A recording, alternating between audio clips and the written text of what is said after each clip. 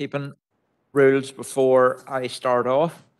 Um, and the first thing I want to say is in relation to the meeting that we had on Thursday with SONI, um, there was there was uh, people saying about censorship, etc. I can assure everybody, nobody was censored.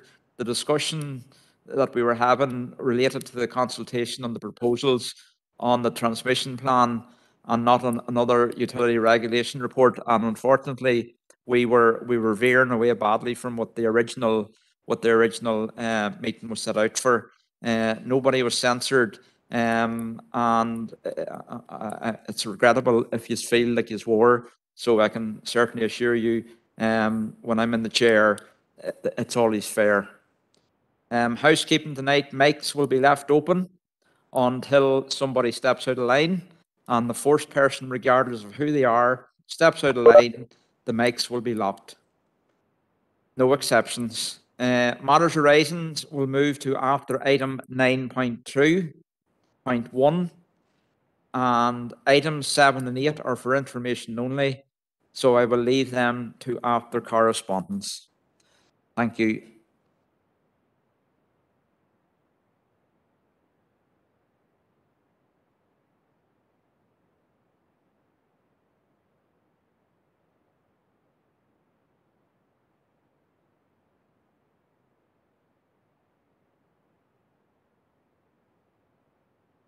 Okay, councillors, uh, we'll start off on the agenda, and the first item on the agenda is apologies.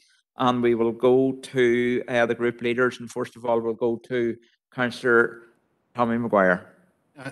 Gormagan to Caherly, uh, uh, two apologies from the Sinn Féin group and Councillor Stephen McCann, Councillor Catherine Kelly. Gormagan to Caherly. Thank you. We will now go to councillor Robert Irvine. Thank you very much, Chair. One apology, Councillor Wilson. Thank you. Okay, thank you. We will now go to councillor uh, Paul Robinson. Chair. Councillor Thompson. Yep, sorry about that. Councillor Robinson and Councillor Elliott will be joining later. Okay, thank you. Uh, councillor Mary Garrity. Thank you, Chair, and good evening. One apology, um, Victor from Councillor Adam Gannon. Thank you. Okay, no problem. And now we'll go to the single member parties and independents. Is there any apologies from any of those? Councillor McAleer. Sorry, yes, Chair, um, just to apologise on behalf of Councillor Keenan, I think with work commitments, he's unable to attend this evening. Thank you. Okay, thank you.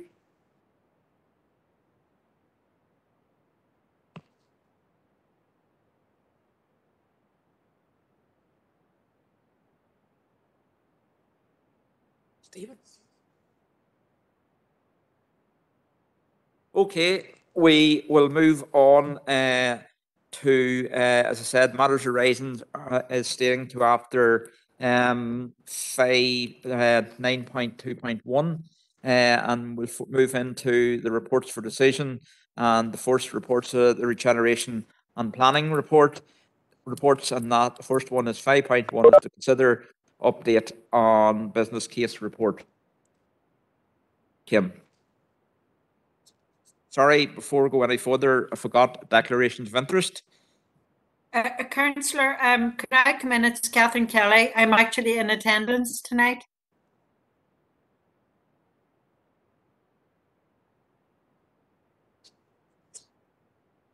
Oh, Sorry. Okay, uh, sorry, I'm looking at Tommy here a bit strangely. I've just realised Tommy put in a, uh, or, uh, an apology for you, so, okay. Um, we're having a little bit of IT problems here, so we'll keep going. Yep. We'll keep going on, uh, this declaration of interest, and the first person up is councillor Mary Garrity. Thank you, Chair. I think just one item seven point one is a member of the Planning Committee. Thank you. Uh, okay, next up we have councillor Emmett McAleer. Thanks, Chair. Yeah, um, item five point six, as a member of Greencastle St Patrick's GA Club, um, item seven point two and seven point three, they make reference to Southwest College in collaboration with the college as an employee of the college. And item seven point six in relation to the Community Planning Strategic Partnership Board as a member of that group. Thank you, Chair. Okay, next up, we have councillor John McCloughley. Thank you, Chair. Um, um, uh, six point two, um, the council's rep on co- Fermanagh, community advice Fermanagh, and, uh, seven point one, the planning.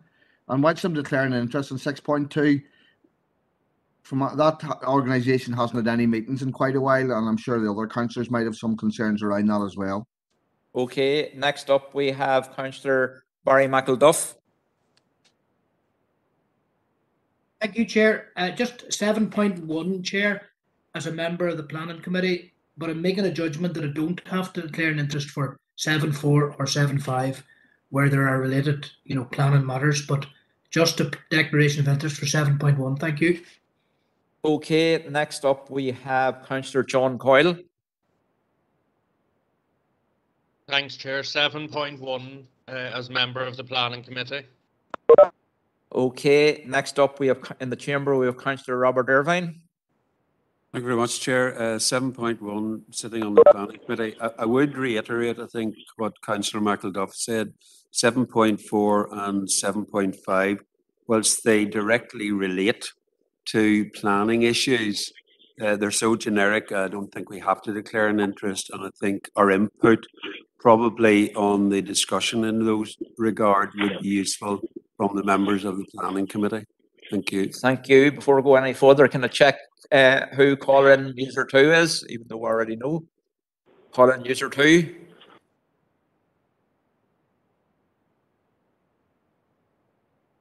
Councillor Sean Clark. Thank you, Sean. Uh, we'll go now to councillor uh, Tommy Maguire. Gurmagan Caherly, uh, just to declare an interest in seven point one. Okay, we'll go back to WebEx and councillor Donal O'Cofaigh. Uh, thank you, Chair. Um, six point two, as I sit on Fermanagh, uh, CAF, and seven point three as I sit on Fermanagh Council of Trade Unions, which is now involved in the Labour Market Partnership. Okay, councillor Josephine Deehan. Thank you, Chair. Uh, item seven point one is a member of the Planning Committee. Okay, thank you. Councillor Alan Rainey. Point one, Chairman. Planning. Thank you. Errol, are you coming into for the same seven point one? Thank you, Chair. It keeps going off and on here. I'm sorry about that. Uh, declaring interest in seven point one as a member of the planning committee and seven point six as a member of the community planning strategic partnership board. Thank Okay, you, Chair. Councillor Thomas O'Reilly. Seven point one, Planning Chair. Okay, uh, back into the chamber, councillor Anthony Feely. Thanks, Chair. Seven point one, member of the planning committee. Okay, and finally, uh, councillor Diana Armstrong, and she wants to raise a matter as well. Councillor Armstrong. Thank you, Chair. Just a declaration declaration of interest at 7.6 as a member of the Community Planning Strategic Partnership Board. And uh, good evening, Chair. Thank you for, for letting me speak. I just wanted to acknowledge today is International Women's Day, and I'd ask members to remember the women of Ukraine as they flee their country, as they flee their livelihoods, their jobs, and in many cases, their families and menfolk. Um, I think we have to send our good wishes and our support to families who are fleeing uh, the, the bombings by the Russians, and also to remember the Afghani women who now are no longer able to have an education and have work um, as a result of persecution again. So I just ask members to remember them, to have them in their thoughts today on International Women's Day.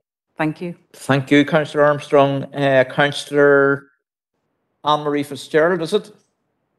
Yes, yes, it is, Victor. Uh, um, thanks a lot, um, Diana, for bringing that in, and no better um, s- sort of um, quote or a line or whatever, just for the evening for International Women's Day. There's a huge amount of suffering going on throughout the world, and there's no doubt that um, the Ukrainian women are suffering, suffering really bad. Um, I was at an event today that um, an Omagh community house with a Syrian woman who has been brought into our area this last couple of years through war conflict as well. They held um, International Women's Day today.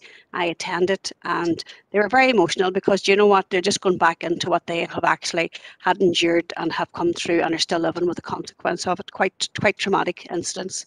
And they are also through Omagh Community House, the Syrian women are asking for members of the public to gather up sanitary products, deodorant, um, or, or wash products, put them in small plastic bags, individualise the stuff into sort of like family members. And if they could leave it off at Omagh Community House, they're hoping to have a drop of um, ladies' products going out at the end of the month because they said that's what they were desperate need of. There's a lot of um, nappies coming across, but they were seeing on food, but women's sanitary products um, as sanitary towels that is a huge need, along with deodorant and a toothbrush and toothpaste. So, um, on that, and as well as the um, Afghanistan women, like we have women in Palestine and everything, who has and the and there's huge amount of people over there. So, solidarity for everybody worldwide going through conflict at the minute. But and um, really couldn't pick one worse than another. So, thanks a lot, Diana, for bringing that to the table. Okay, Councillor Bernice Swift. Armagad Cahirlock, and yes, thank Diana for bringing uh, in the support today and the solidarity for all of the women who are suffering in the Ukraine. And as Anne-Marie's after saying, women right across the world who are oppressed. I too attended a wonderful event today about the, today's theme, this year's theme on the campaign, which is about break the bias.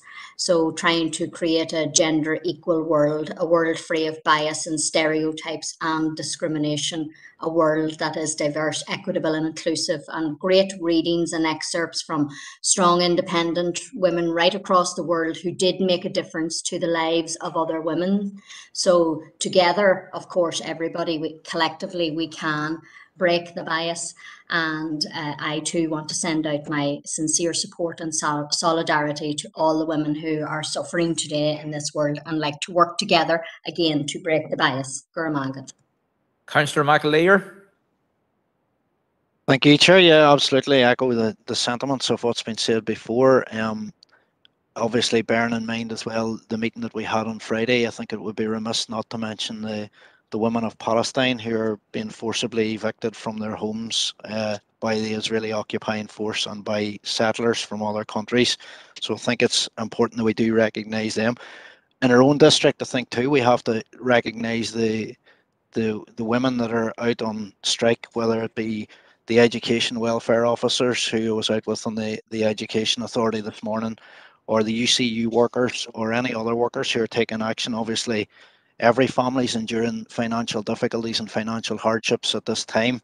Um, so it's important that we do remember that closer to home. And again, in my own DEA, the families and the and the women of the communities that are standing up to foreign uh, mining interests and being persecuted for doing so.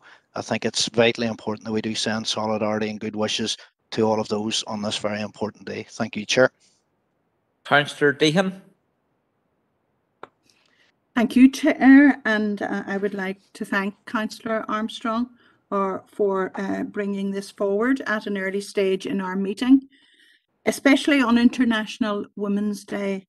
Um, it is a great institution, Chair, a, a day uh, uh, when we have an opportunity to reflect on the place and role of women in our society and the great struggle that women have had uh, to uh, help them achieve their full potential and end discrimination uh, against women throughout the world, where, wherever it may be. But certainly, yes, as Councillor Armstrong has said, we, we are moved to tears and heartbroken at the images on our television screens of women and children fleeing the conflict in Ukraine and uh, their uh, bereft husbands and partners behind, uh, trying to do what they can to defend their countries. I also need to make mention uh, of the past year in which we have seen uh, violence against women and girls. And I think that we should remember all the victims uh, of domestic violence and abuse, those who have lost their lives. And uh, times when we have really been uh, uh, moved in such a way as to protest uh, publicly, uh, such as the tragic uh, death of Ashling Murphy. So I think it's uh, fitting that we should remember all those women on this day and to continue to strive for equality and justice for women throughout the world. Thank you, Chair. Thank you, Councillor Deehan. Okay, that's everybody. Uh, thank you for that. Um, we will revert back to actually item number two to sign the minutes and confidential mi- minutes of the previous meeting on the 8th of February. That's already been done. Uh, we've had all the declarations of interest, so we'll move on now to item five. And 5.1 is to consider update business case report paper A, and it's over to Kim.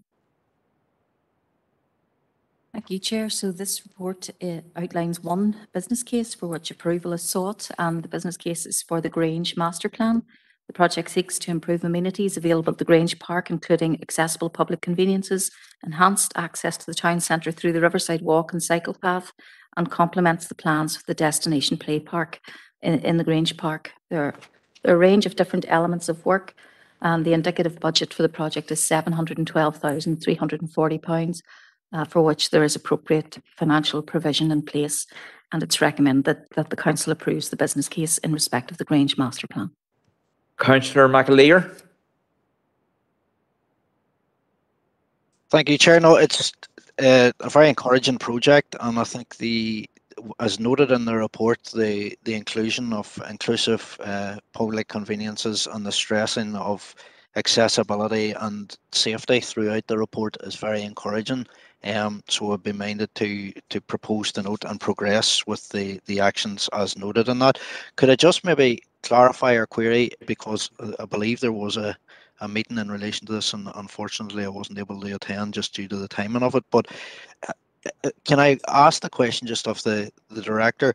What has been the, the disability advisory group involvement to date, just in relation to that, and have they been kept up to speed on it? Thank you, Chair. Yes, Chair, the, the project has been led by uh, the Environment and Place Department, and there has been engagement um, in respect of the development of the project with a range of stakeholders, including the Access, um, uh, uh, the Access and Disability Advisory Group. Okay, thank you. Councillor McElduff. Yes, uh, Chair, can I propose the adoption of the recommendation? It's already been proposed, uh, Councillor McElduff. Do you want to second it? Absolutely, yes. Uh, I'll just maybe refer to one aspect within it as well. The creation of an accessible link path to the Riverside Walk and Cycle Path, providing a connection to the town centre. That's very, very important. Now, I appreciate that there is ongoing work taking place in that matter. There's no fault on the part of our officers. It's it's being progressed. But just maybe to add in in in the short term, on in relation to the Riverside Walk, if we could have signage, signage on the Riverside Walk, which has been requested for some time now, because people are confused about where they're going. So just maybe revisit that at the next Environmental Services Committee, the signage for the Riverside Walk itself. Thank you, Chair. Okay, Councillor McElduff, that'll be sorted. Okay, Uh, thank you. Next up, sorry.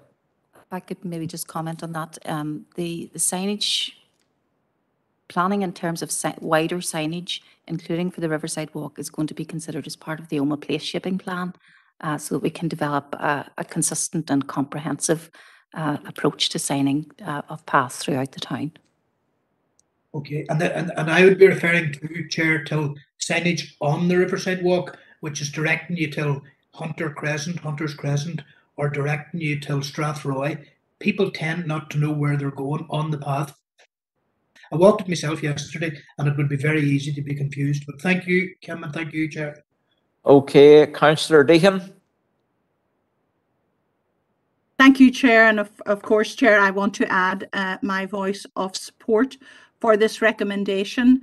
Uh, I think uh, the Grange Master Plan is an exceptionally exciting project and one which will uh, deliver great benefits not, Omagh, not only to Omagh Town, but also as a destination playground uh, for the whole district. Um, I welcome in particular uh, the upgrade of the public conveniences, uh, especially with improved accessibility. And also, Chair, uh, uh, pursuing the uh, green environmental agenda, I do welcome the provision of um, charging for electric vehicles. Thank you, Chair. Okay, Councillor Errol Thompson. Thank you very much again, Chair. I'm not going to repeat what others have said. Uh, I do welcome it, the Grange Master Plan and everything involved with it. And I, I was one of those who took up the opportunity to avail of the meeting that took place and the briefing that we had on it. So it's very much to be welcomed. And uh, I'll leave it at that, Chair. Thank you. Okay, Councillor Anne Marie Fitzgerald. Yes, thanks, Chair, for letting me in. Yeah, um, I was the same as other councillors. I did avail of the meetings and um, but had meetings with residents as well out in that area who had a few concerns. And I must say that the officers had come forward and has made um, better um, recommendations from that ongoing. But just, um, I think everybody else had mentioned about the footpath connecting up. It's a brilliant idea, and I think it's going to be a well worthwhile um, element of it. But I know the residents had issues maybe with the path and um, maybe flooding of that area and with the drainage pipe going into the river. So that's just something brought forward. But our officers are very well aware of it. And um, for the extra parking, um, I think would be a huge bonus to that area because we'll have something sort of like the Gunch or the, the Gorchin Park. Going to have huge numbers. So I think additional parking would be very, very good. So yeah, very supportive and um, thank um, all the officers and all the workers for the great work. Thank you. Okay, thank you. Councillor Matthew Bell. Um, thank you, Chair. Um, just yes, um, so kind of like Councillor Thompson said, um, and no, no point in rehashing what's already been said, but just to voice my support. Um, I just want to make a comment on the the accessibility in terms of um children with maybe um disabilities, and I know I noticed in the in the plan that we were briefed on, um, that is being included within the plan, so that will be an excellent addition um, to the to the Grange Park, and it looks like it's going to be fantastic. Thank you, Chair. Okay, thank you. Okay, no more speakers. So you've heard it proposed and seconded. Uh, is everybody happy with that? No dissenters. Thank you. We'll move on to item 5.2, and that's to consider update report on funded po- programs, uh, paper B. Thank you, Chair. So this report uh, provides an update in respect of the formation of a Fermanagh and Omagh Peace Plus partnership, the TRPSI Rural Business Development Grant Scheme for 22 to 23, and the TRPSI Forest Park Enhancement and Community Trail Development Scheme also for 22 to 23. So firstly, Peace Plus. Um, the Peace Plus programme covers six themes, uh, which have been outlined previously, and the Theme one is around building peaceful and thriving communities, and uh, this will be taken forward uh, through local community partnerships and the delivery of a co-designed local community Peace Plus action plan. And our funded programs team have been engaging with uh, SEUPB and the uh, consultants consortium engaged by SEUPB towards the establishment of the Peace Plus partnership uh, and also taking forward plans for consultancy support to begin the work of engagement and development of the action plan. Appendix 1 to this uh, report outlines a proposed partnership framework for the establishment of the Peace Plus partnership, setting out the proposed composition.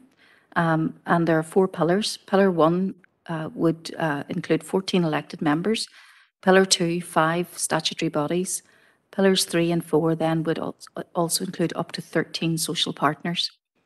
We yet have to have have to receive confirmation of the financial allocation to the council, and we don't yet have the call guidance document. However, we anticipate the call will open in May or June of this year, and councils are being encouraged to now begin the process of forming partnerships so that they're in a state of readiness to begin uh, to submit their, their plans. It's anticipated the Peace Plus partnership will remain in place up until April 2027, and partnership meetings will take place on a monthly basis. So it's proposed that the elected member representation in Peace Plus would be 14 members, and this is in line with the elected member representation on the existing Peace 4 partnership. And at the annual meeting in 2019, the council agreed the allocation as outlined in respect of the positions and appointments to the Peace 4 partnership.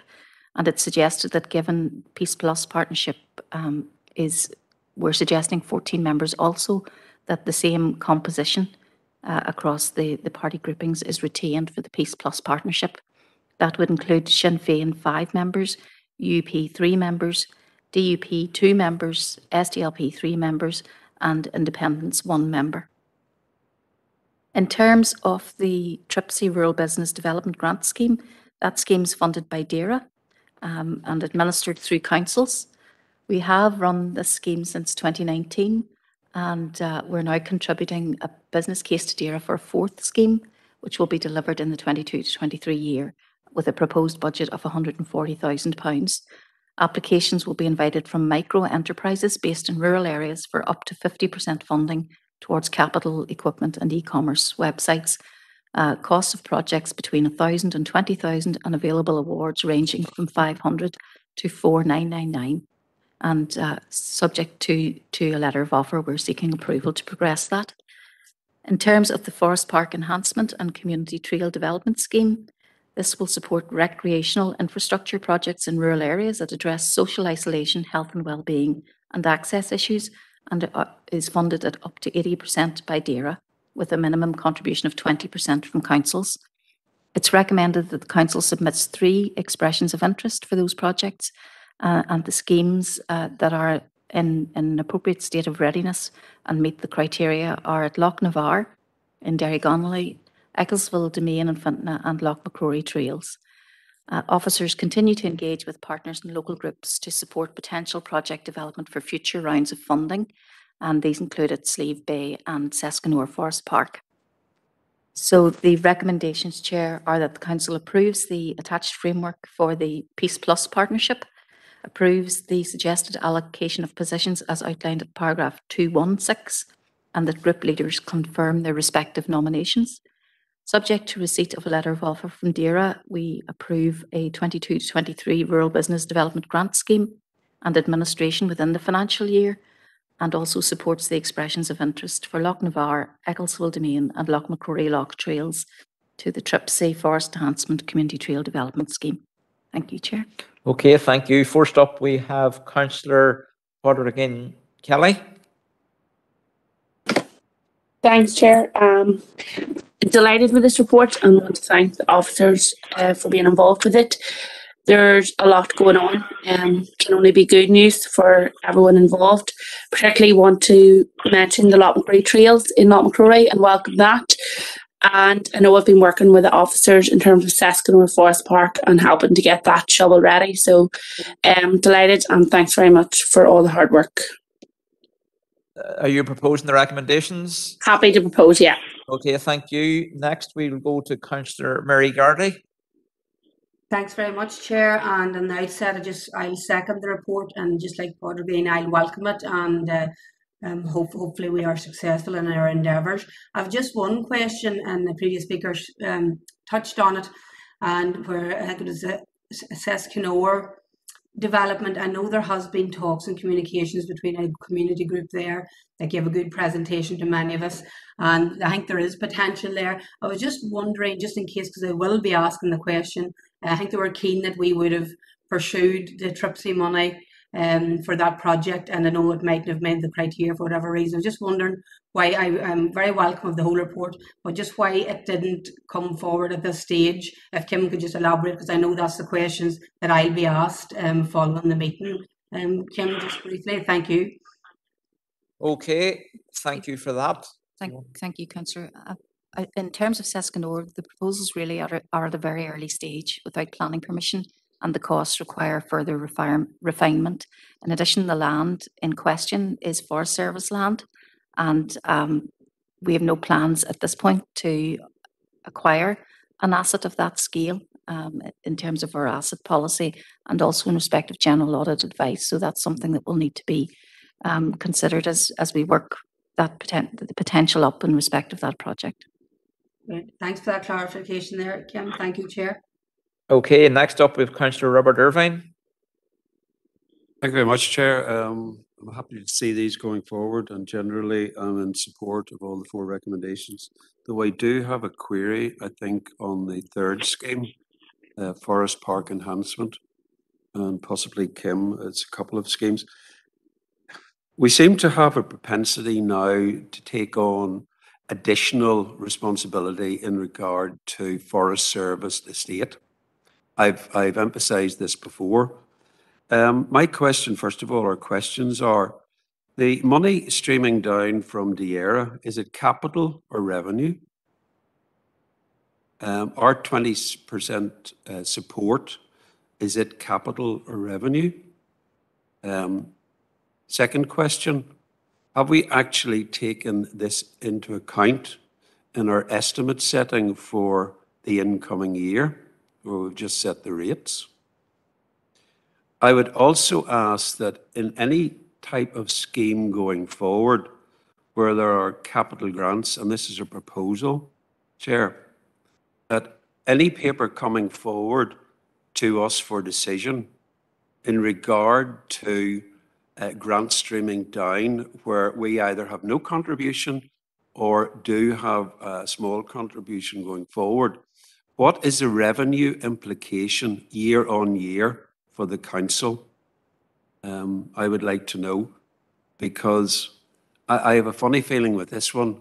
There is no revenue stream coming with it but there is a consequence once it actually goes forward um, in regard to what the council has to pick up.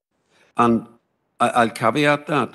We, we had discussions um, recently in regard to rate setting, in regard to additionality of staff for the incoming year for various things that we have taken upon ourselves or decided to do. What I would not, like to see is issues like this coming forward, where indirectly we will have to provide additional staff going forward to actually supervise, maintain, or look after. And we have no real indication at the time that that is going to be a consequence. So my proposal, basically, a backtrack, is that any proposal from officers coming forward in this regard should have an attachment showing what the revenue stream is and where the revenue stream has to come from. And allied to that, the likely impact in regard to staffing levels. Thank you very much, Chair.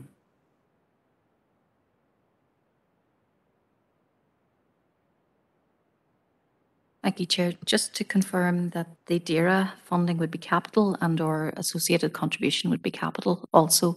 Any revenue costs would need to be accounted for and considered in the business case development or specific projects. And then um, those revenue implications would need to be carried forward into service budgets and and estimate budgets. They should also be outlined if we if we have any implications in respect of additional human resources um, or asset acquisition in the in the uh, reports which are coming through to committee um, already.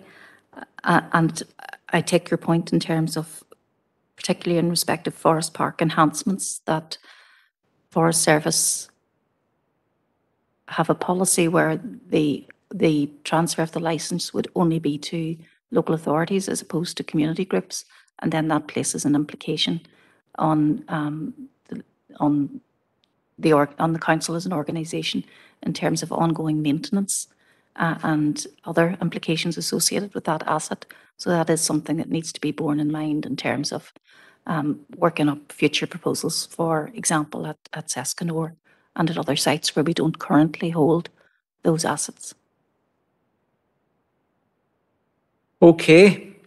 Next up, we have Councillor Bernice Swift.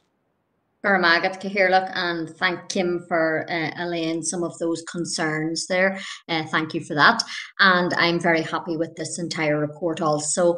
Um, and it is great. I think that the expression of interest is being submitted to the Tackling Rural Poverty and Social Isolation Fund. Um, particularly, I'm going to speak just for my own area here, Lough Navar Development Plan.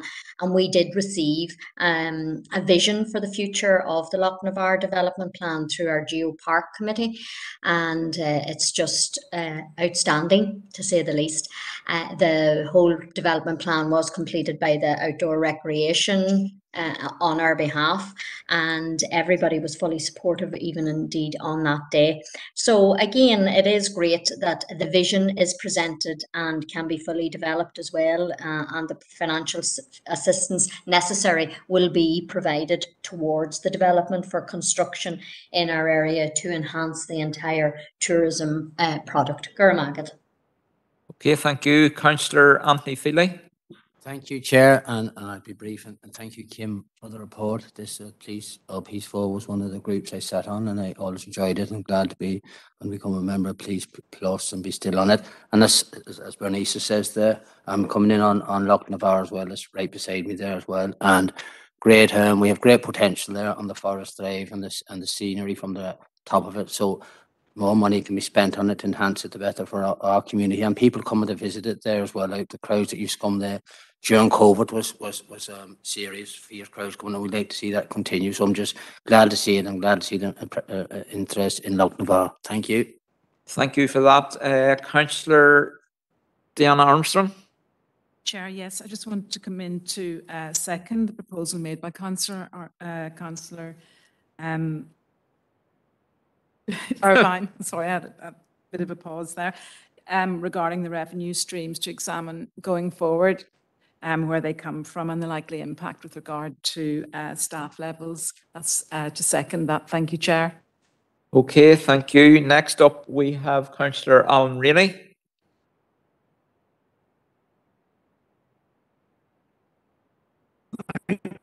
Chair.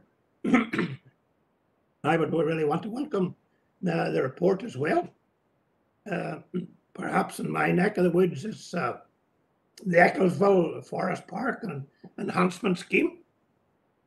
And I had the privilege of having a conducted uh, tour of the work that's going on there towards the end of last week. And uh, the work has been phenomenal uh, that has gone, been able to be carried out, particularly with the weather conditions that we have had. And the timber has been all uh, uh, felled uh, and hauled out to the uh, to the roadway for for pickup. I, I think it's somewhere in the region of thousands of tons of timber that uh, has been uh, salvaged there or or or, or harvested, and uh, they're going ahead with the, the planting scheme. That's the most important uh, end of it. Uh, to have it replanted and coming on, no doubt, it is maybe like a battlefield uh, at this minute. However, uh, with the young uh, saplings, if we can get them planted now, particularly early in the spring, and they get off to a good start, in, in a few years, then it'll look an entirely different place.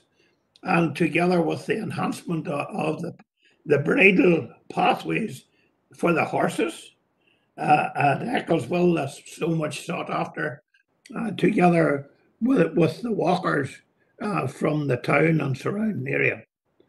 Uh, maybe I would want to, uh, I would want to register my, my, my, my, uh, my disappointment that uh, hadn't been as successful as what uh, we would like to have had it to be.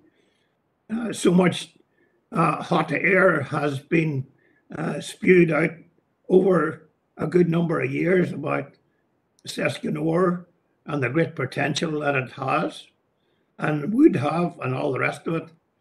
Uh, but it uh, was lacking in a, in, a, in a group to come together to put forward a proposal. And uh, on their behalf, uh, I, I'm sorry that it, that it hasn't uh, just met the criteria, but it's good to see it mentioned.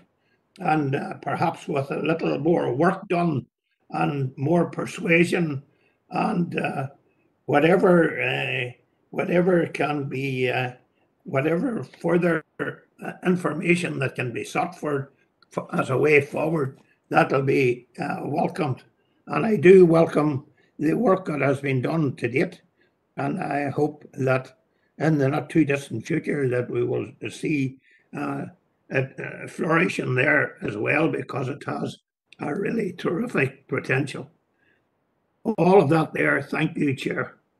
Okay, thank you. Uh, next, we have Councillor Donal O'Cofaigh.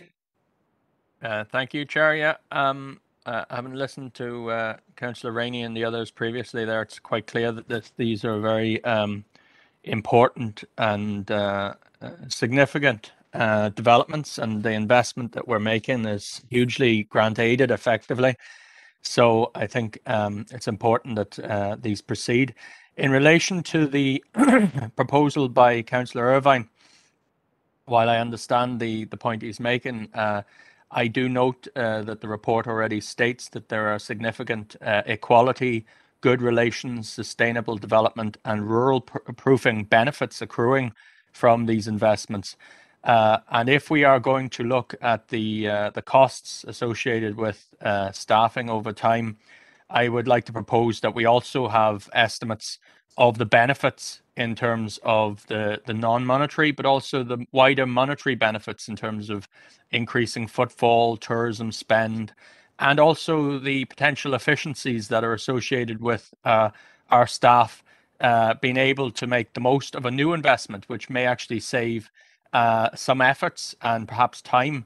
So I think it's important that we have a holistic approach to things and not always see every investment or commitment as a negative uh, that you know potentially uh, a cost, but there are actually benefits associated with this sort of really progressive investment, as as as we've just heard there from Councillor Rainey, who says is, is transformative. So I'd like to propose we have a balanced approach, including details of the positive aspects to these investments as well as the cost. Thank you, Chair. Okay, next up, we have Councillor Glenn Campbell.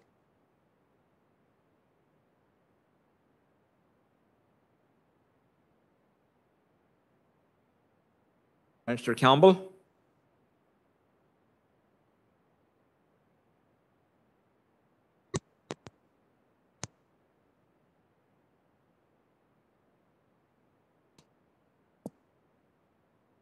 Looks like you're having Can you hear me okay now, Chairman? Hear you now, yeah. I just can't hear. Sorry to hear me? Yeah. We can, we can hear you, yes. Apologies, apologies. Uh, my sound just wasn't playing ball there. No, well, I mean, I would want to certainly, I would want to emphasize the positive aspects. I do think that uh, when we look at the cost involved in, in these sort of partnerships, um, uh, we can be, um, you know, I think relatively speaking, the cost uh, absolutely has to be taken into account. But uh, in terms of the, the benefit, I think it's very good value for money. Any investment we can make in facilities such as, you know, um, Forest, uh, Ecclesville Centre, you know, this is not going to distract from from larger projects in the district. Uh, this is going to, in fact, feed into them. It's going to bring people uh, closer to nature, and, and you know, people are going to use them, and uh, you know, and, and I think that we should look at the positives in terms of health and everything else. So I would echo the words of Councillor Rainey and others uh, in support of that, and, and really urge our officers uh, to work closely with everyone in the community that, that wants to drive those uh, projects forward. And uh, and um, but apart from that, I, I welcome the sort of the efforts of officers to date uh, in that regard in, in accessing funding to support such projects. Thank you, Chairman. Okay, Councillor McAleer.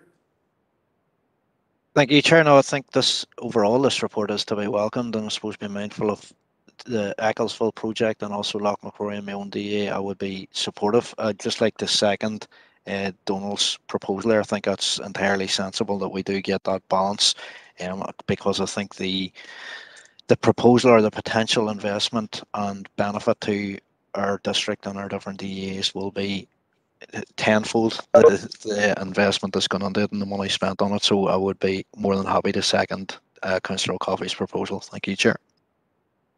Okay, I'm gonna bring in Kim. Thanks, Chair.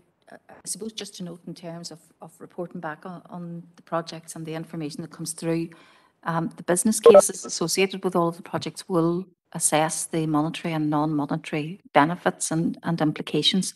So when we're bringing projects forward with an approved business case, um, that, that information has already been, been considered and determined in respect of the entirety of, the- of the project. And that would be implicit in the recommendation that we're bringing forward. Okay, we'll go back to councillor uh, Irvine's proposal and seconded by councillor Armstrong. Um, is everybody agreed with that or is there any dissent? Okay, that's passed and then we'll go to councillor O'Cofaigh's proposal seconded by councillor McAleer. Is there any dissent on it? Okay, both passed. Move on. Next, we have item five point three, and that's to consider a report on the Slieve Beagh Partnership Paper C. Thank you, Chair. So this report provides members with an update on the Slieve Beagh Partnership and seeks council approval to progress identified recommendations. And uh, the partnership has met on three occasions.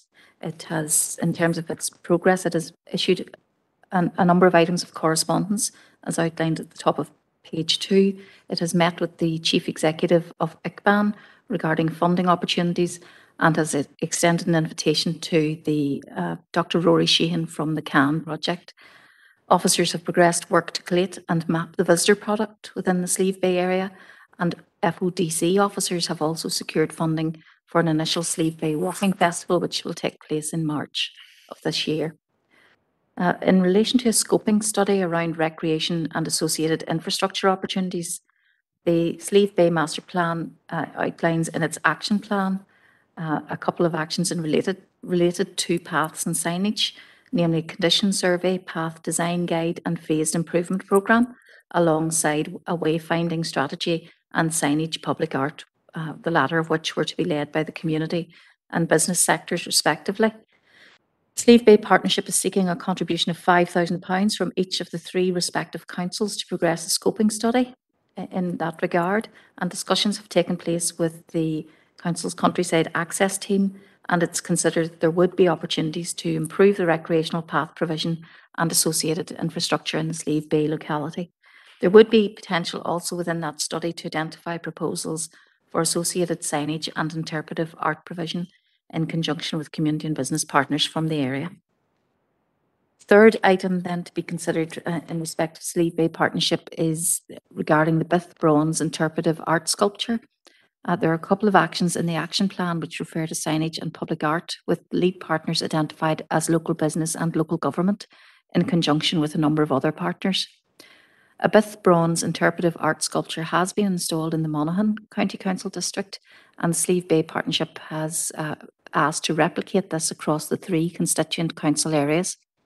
In the Fermanagh district, it's proposed that a sculpture would be located at Carnmore Viewpoint, uh, located on along along a short circular path on licensed Forest Service land, uh, which we already hold a license for. Officers understand there's been no community consultation regarding the site or this aspect of the project, and the council may wish to consider whether such an exercise would be beneficial. As far as we are aware, location in the Mid Ulster district has not been identified, and at present there's no commitment from uh, the Mid Ulster Council in that regard. Uh, further to a report presented to committee in October 2020, council officers have continued to investigate land ownership issues, uh, commenced a PAD discussion, and Monaghan County Council has confirmed that sculpture moulds can be made available, and it's understood we don't have any copyright difficulties.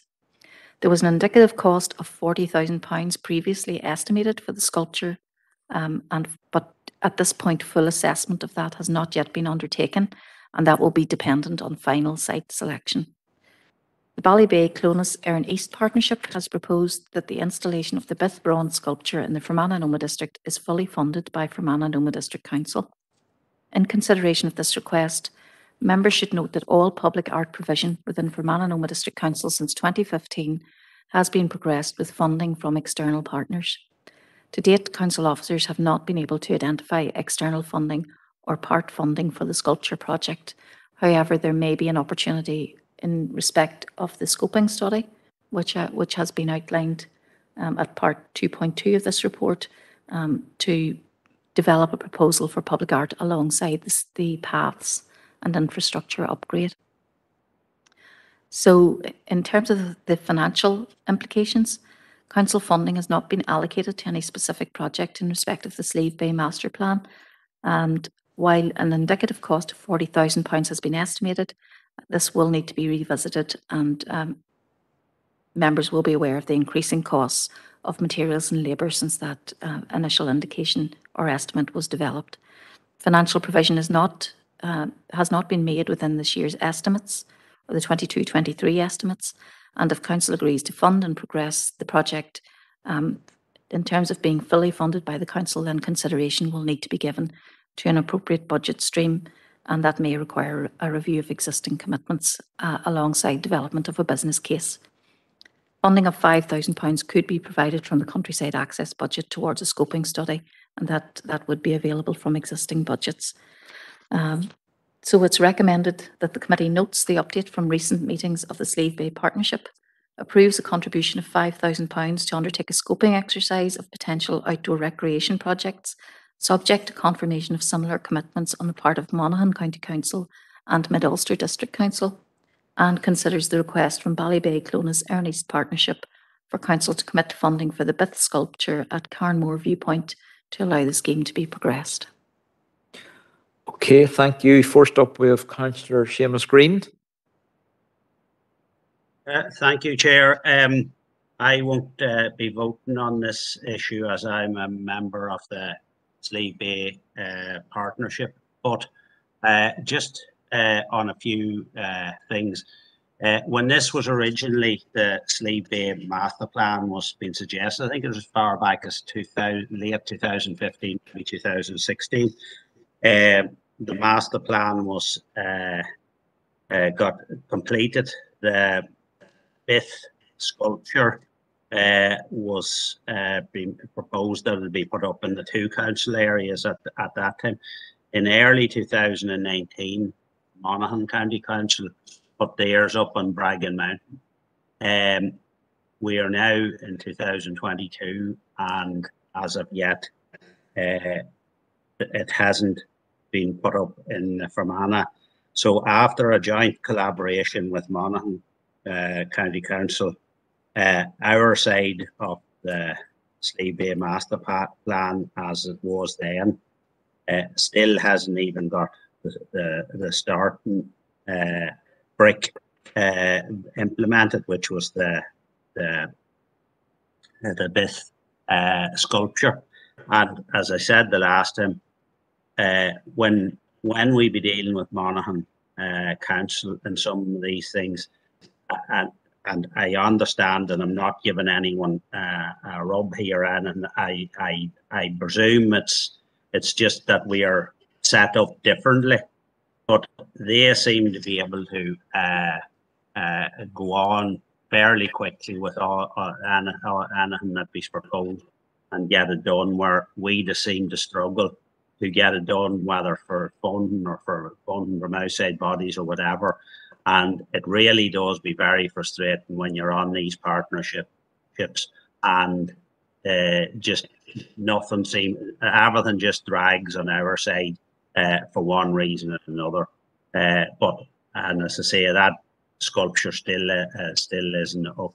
But anyway, I'll say no more about it. And as I say, I'm on the Slieve Beagh uh, group, so I won't be voting or anything on this. So I won't propose this here because I'm, I'm, I'm not. I'll let somebody else. Okay, thank you, Councillor Green. Uh, Councillor O'Cofaigh.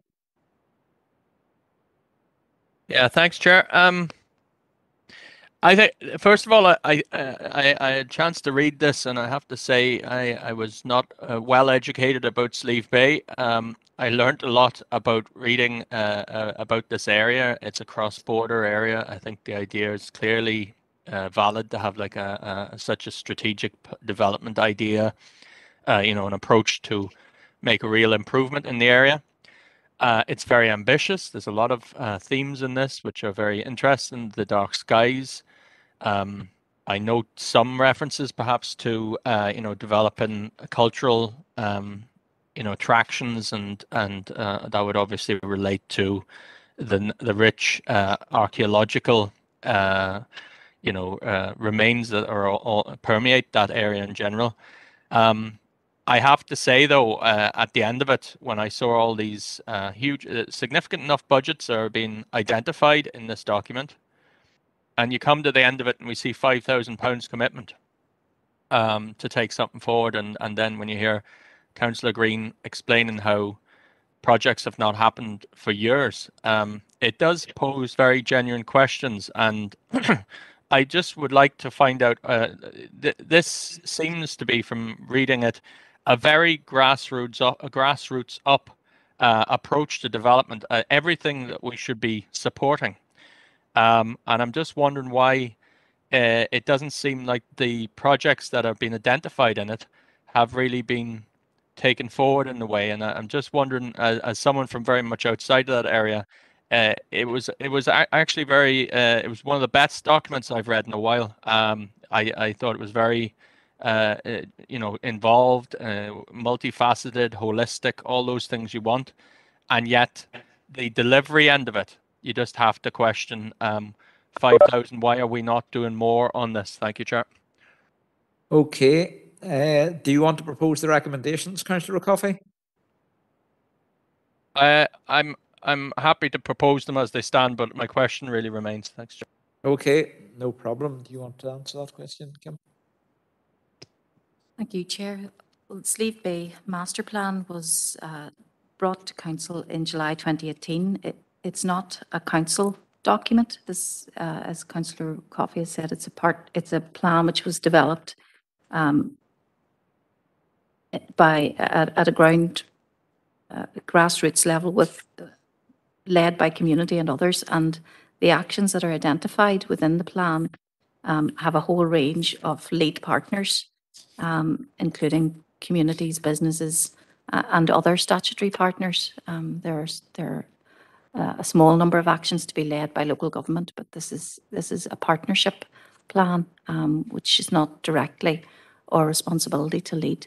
And the Slieve Beagh Partnership was established and met for the first time in, in late 2021. Um, recommendations are being brought forward uh, to, to committee today, and we are um, proceeding to commit resources in, in terms of infrastructural development in that area. Councillor McAleer? Thank you, Chair. Yeah, um, again, as, as someone from outside the area, having read the report and listened to, I suppose, the, the input from a local councillor and the, what what's been uh, what's been read or what's been stated by the the director, I'm I'm a wee bit concerned, um, kind of along the lines of what Councillor O'Cofaigh has raised and, and again what Councillor Green has raised. In real, I, I understood there that, that the director said that there hasn't been consultation in relation to the erection or design of the sculpture, but yet uh, Councillor Green's input seems to kind of contradict that. And again, the time frame of when this was, I suppose, originally discussed and when it became a, a group or when it became a formally presented to council, there seems to be quite a lag there. I, I would have some similar questions in terms of why as Councillor Cofaigh says, this is the sort of project we should be promoting. You know, we're we're supporting local tourism, we're supporting community involvement, we're supporting these, you know, these three strands of of council to promote the local environment, to promote the economy, and this seems to tick all the boxes. And I think it's great that it's coming from the community, that it's not being put on the community by an external body. I'm kind of worried why why this hasn't been progressed to date. And I, I suppose maybe for clarity, Monaghan County Council, they've paid for their the sculptor on their end, I'm presuming. Was it always proposed that it would be the council would would fit the bill for that, or um, was there discussion at any stage that it was to be a number of associated bodies that were going to contribute? Um, and and I really finally, I'd like to know, considering we we have raised the rates again this year. We raised them last year. We've raised them again this this year. Why why hasn't this project been budgeted for? Because as I said previously, it seems to tick all the boxes in terms of the the council program. Thank you, Chair.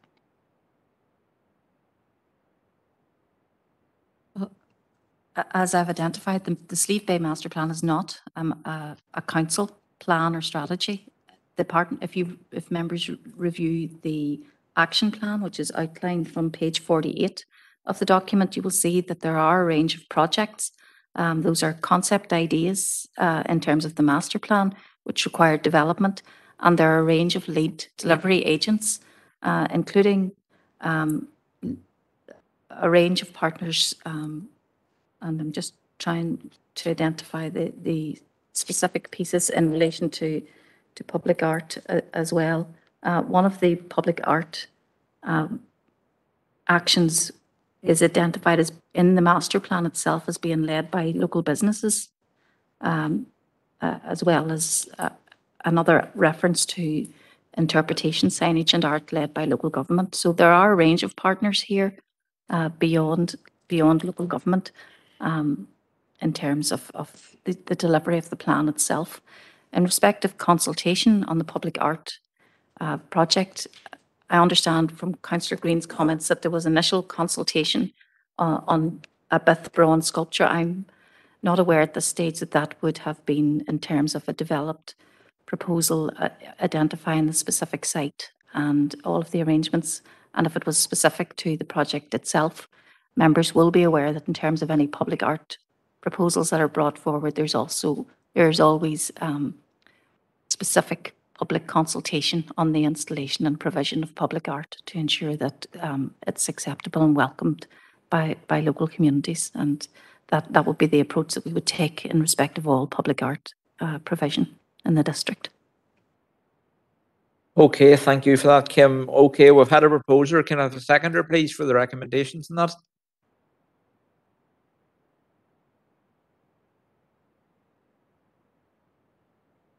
Thank you, Councillor Curry. Uh, well, you've heard it proposed and seconded. Is everybody happy? Okay, we'll move on. And next on the agenda is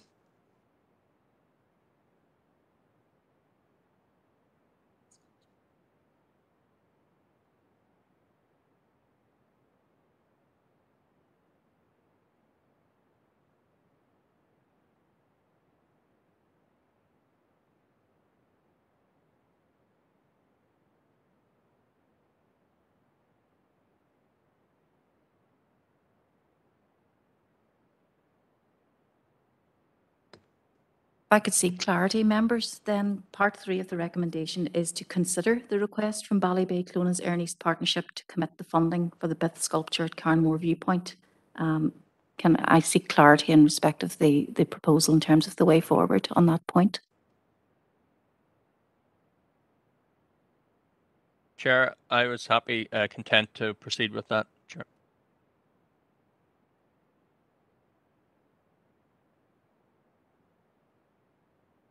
Chair. Sure, I'm, just not sure what's been decided there. I was going to come in on the back of it, but I'm just not sure what's been decided. The um, proposal was to consider.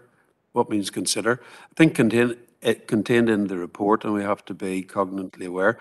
All three councils that input into this partnership provide admin backup at appropriate level the whole way down.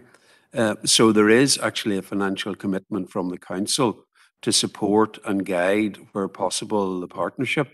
I think the um, director has uh, highlighted at page 48 that local government on all three councils are merely part of the input mechanism into the partnership. And a lot of the, the work is coming from the community as well as other partners. I think in regard to the signage, it would appear that um, maybe Monaghan have actually uh, budgeted for that, but we don't have budget for it, and it wasn't coming forward in the previous couple of years to do that.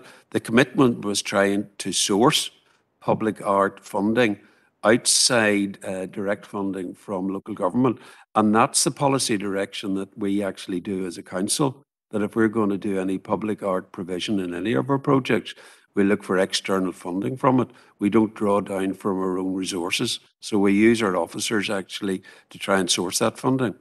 My consideration of this request would be that we continue to source external um, uh, sorry, streams to provide the partnership with the funding stream for the um, project, but we don't actually directly pay for it out of our resources. We haven't budgeted for it and therefore we shouldn't be committing.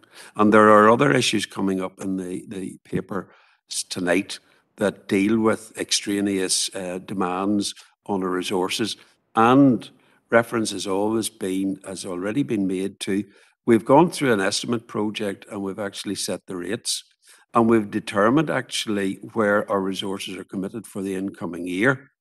Uh, and therefore, we should be very aware that when we make additional proposals and requests and demand on our officers, that there should actually be a dedicated budget for that, that we shouldn't be trying to pull the rabbit out of the hat to fund projects on a whim and um, a gift. So unfortunately, my interpretation of consider is to further look for external resources to actually fund this, not to be drawn down directly from our own reserves. Thank you.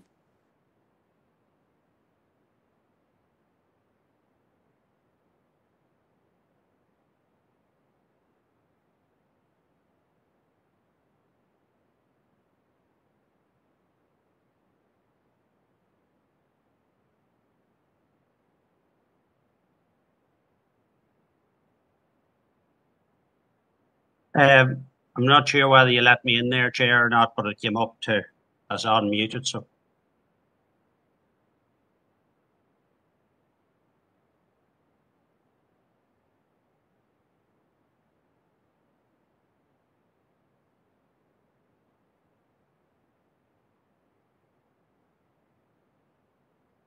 Chair, I, I can't hear you if you're talking.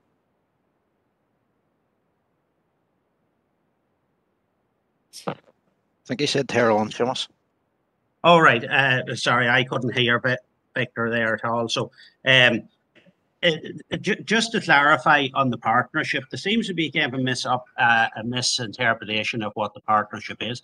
The partnership is made up of the three councils.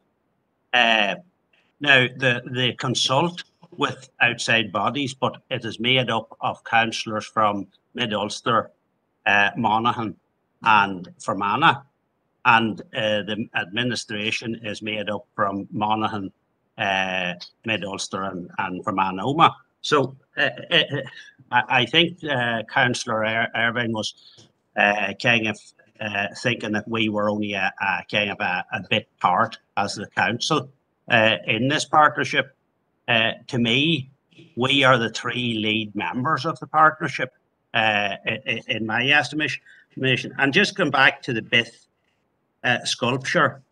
In February 2020, I made a proposal at uh, because of how slow it was on our side to to uh, to get something done. In February 2020, I made a proposal on the uh, Clo- uh, Ballybay Clones Erne East partnership to that the council uh, would fund this so that we actually could catch up on Monaghan Council.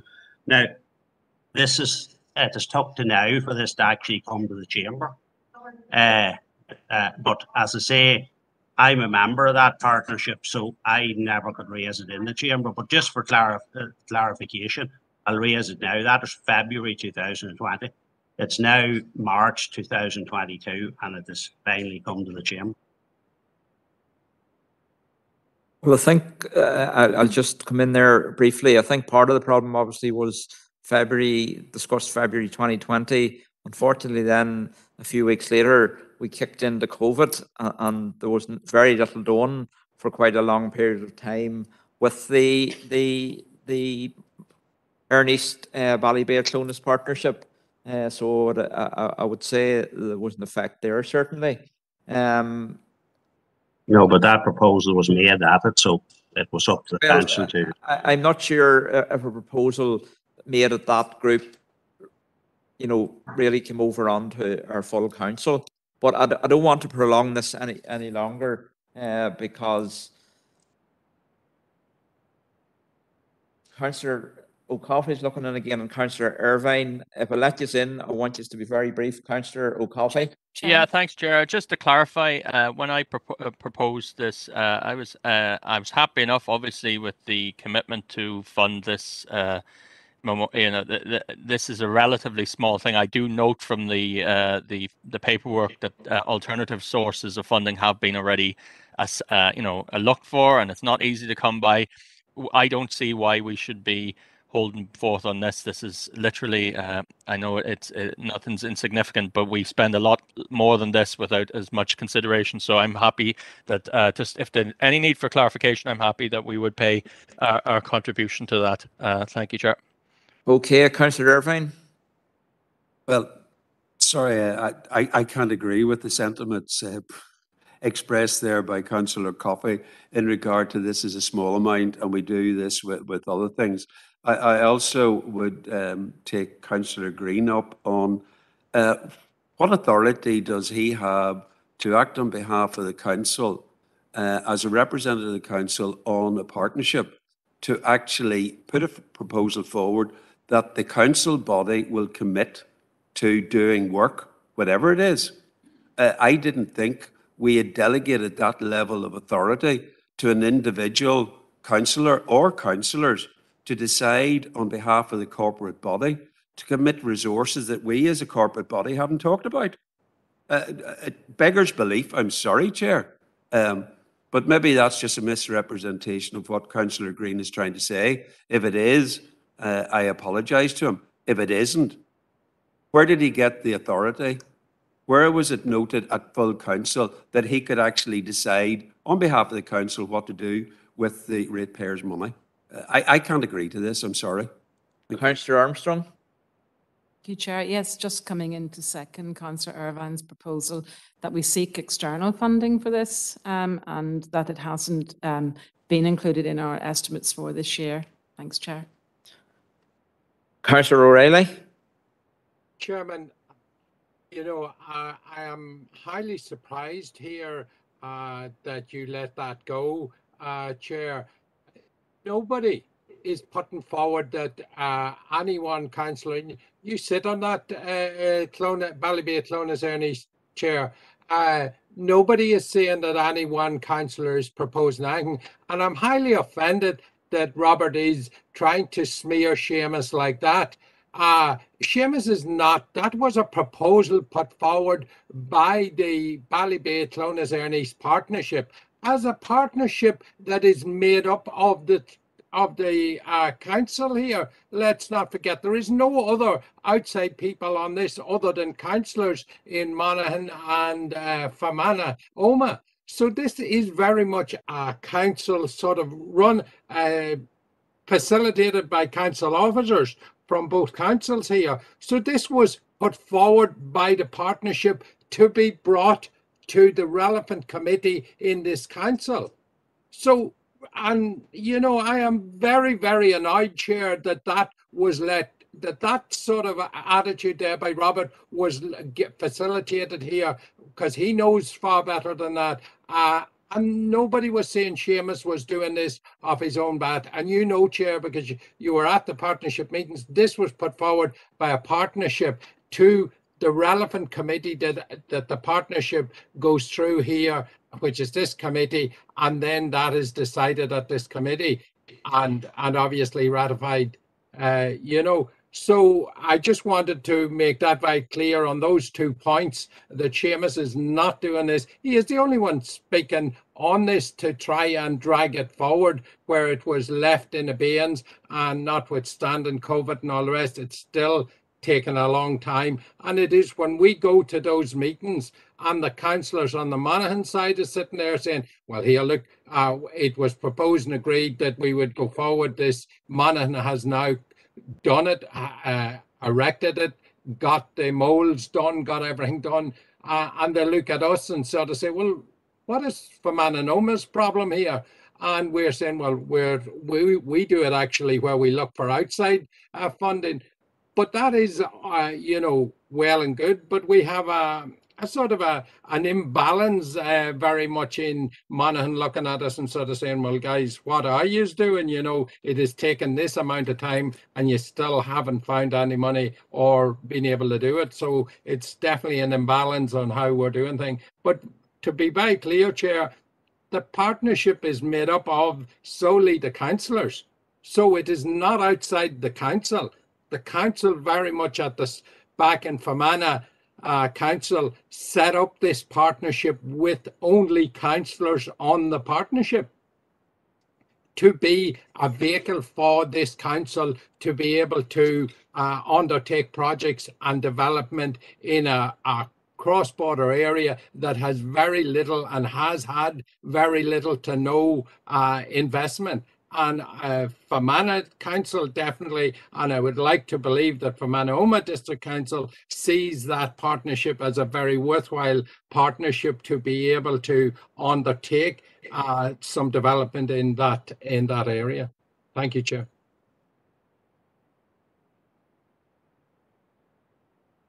Councillor Curry. Yes, Gurmagada Carley. Um, just to just to say a few words on um, today was at uh, Lough Erne Landscape Partnership. Um, very interesting um, talk there that was given by a gentleman called um, Ed McMahon, and it was on sustainable tourism. And a lot of what he talked about, um, there was a lot of good things in it, and a lot of what we could already identify that was taking place here in our district. Um, but also a lot of opportunities um, for us to build on. And uh, one of the things he spoke about was kind of the intangibles and the experiences and that kind of um, tourism that you can't really put your finger on, but the importance of that culture and heritage tourism, and also about the importance of linking places together and how that can um, benefit you know, can can have just huge holistic benefits as well as you know in in smaller local areas, and I think this is actually an example of that. Um, I mean, the Slieve Beagh area is a big area, uh, but in a lot of ways, actually, it's it's quite a small area as well. And I know um, the tourism board here in the north look, looking around clusters and, and things like that and I think this is a great example of just that partnership working on a cluster in an area. Um, and I think it ticks all the boxes. And I think um, I do, I have to say, I am quite surprised at the proposer, um, given that there was no support for even a very small increase on the rates this year, given that this council is uh, has bills to pay, cost of living expenses to pay, 1.25% increase on national insurance that we have to pay our workers um, and everything that goes with that um, and writing off um, amounts of money as if they're nothing. And um, when we all took the time to to go along to the meetings and have any extra engagement we could have with the officers to make sure that we could deliver um, as low a rate as possible because we're all very conscious of that. So I'm surprised at that. But I think that um, actually this would be a good investment just in that wider tourism part, um, that linkage in our district, uh, the Gaelic culture there, the fantastic outdoors, which is something that we have seen an increase in, um, particularly during COVID. Um, so those are my thoughts on it, Chair. I have seconded it, and I'm happy to go with that. Margaret. Okay, thank you.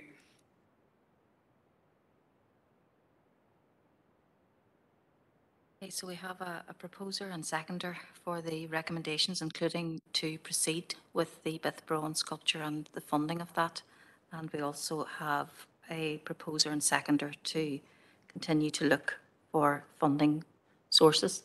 Um, in respect of uh, members' views uh, and if members are ultimately minded to support the request for funding on the Bith Brauns, then I, I would recommend that members would, within that, uh, include uh, a, community consultation exercise in advance um, so that there would be clarity uh, and confirmation um, in respect of, of that the, the community would welcome the, the installation. uh, and also that a report would be brought back uh, on the further detailed costs once the um, detailed aspects of this uh, have been have been further developed, alongside the, the identified funding stream, um, given that we don't have a funding stream in place at the moment and consideration will need to be given to that. Okay. So I'm going to first of all put Councillor O'Cofaigh's proposal to the meeting. Um, is everybody happy with that? Okay, there's dissent. Okay, Councillor McPhillips. Thanks, Chair. Uh, just like uh, Councillor Green, I'm also a member of Slieve Beagh, so I won't be taking part in any vote just for to keep things right. Okay. Okay, a recorded vote has been requested on Councillor O'Cofaigh's proposal. Uh, I had my hand up, Victor. sorry, sorry, Mary, sorry, sorry, Mary, go ahead. Uh, thank you, Chair, for allowing me. It's Just before the vote takes place, I think from listening to what we all heard, I think this is a very unique situation.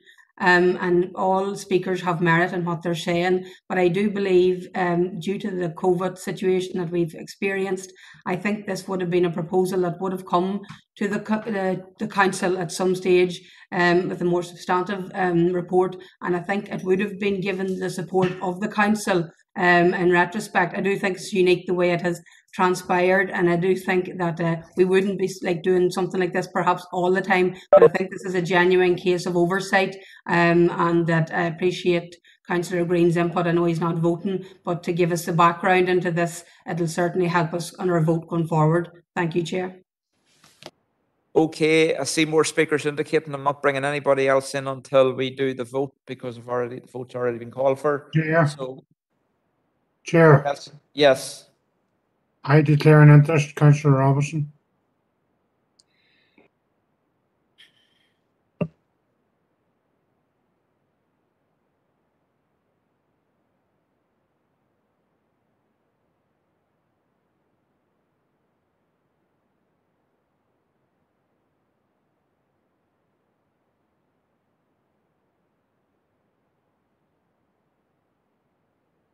Okay, on advice, um, I, I think it would be fair to say then that the, the six members of the, the, um, Clones Erne East Ballybay Partnership that are on that committee, uh, who are all the Ernie's, um, councillors, including myself, so I will declare an interest as well. Uh, Councillor Green has declared an interest, Councillor, uh, McPhillips has declared an interest. Um, Councillor Thomas. Chair, just to clarify, just to clarify, I declared an interest because I was a member of the Slieve Beagh Partnership, not the Clo- Ballybay Clones Erne East Partnership. Uh, I'm just being told that the proposal came from the Ballybay Clones Erne East partnership. So are you still, the, it's up to yourself, Seamus, do you want to declare an interest? Yeah, I'll declare an interest in that if that, uh, that's the case, yeah. Okay, that's one, two, three, four. Um, Councillor Robertson is five and Councillor Keenan's not on. Okay, so go ahead. Thomas, do you want in? No, you're just declaring an interest. Okay, go ahead and set the vote up, please.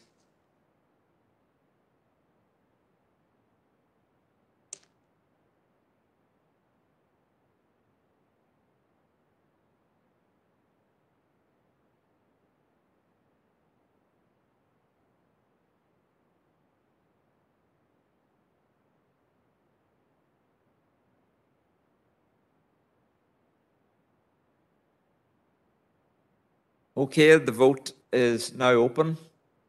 So, please go. Chair, this is Councillor Irvine's for clarity, isn't it? No, this is for Councillor O'Cofaigh's proposal. This is for Councillor Cofaigh. Thank you, thank you, Chair.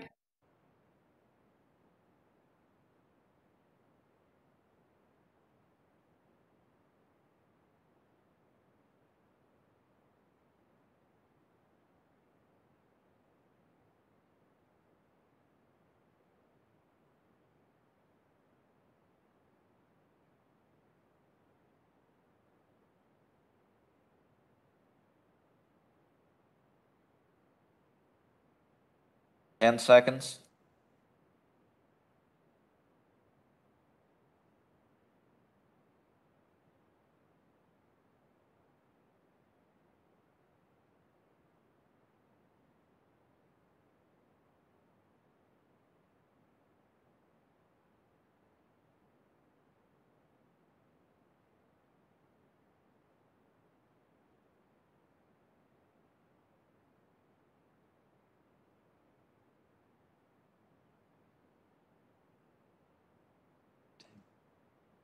Yeah, time's up.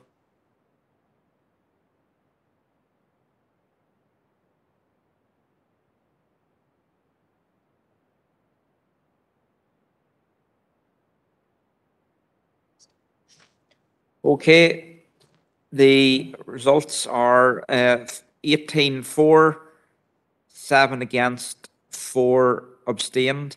And just want to clarify then that proposal is carried. I just want to clarify the proposal and I'll pass you back over to Kim. Thank you.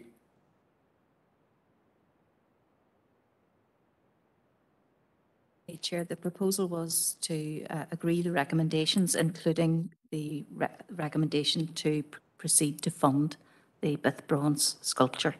Um, And that was proposed by councillor O'Cofaigh and seconded by councillor Curry. And can I just confirm then that members are content that um, within that we would also conduct a community consultation exercise and that we will also bring a report back setting out the detailed costs when those are available. Okay, everybody happy with that?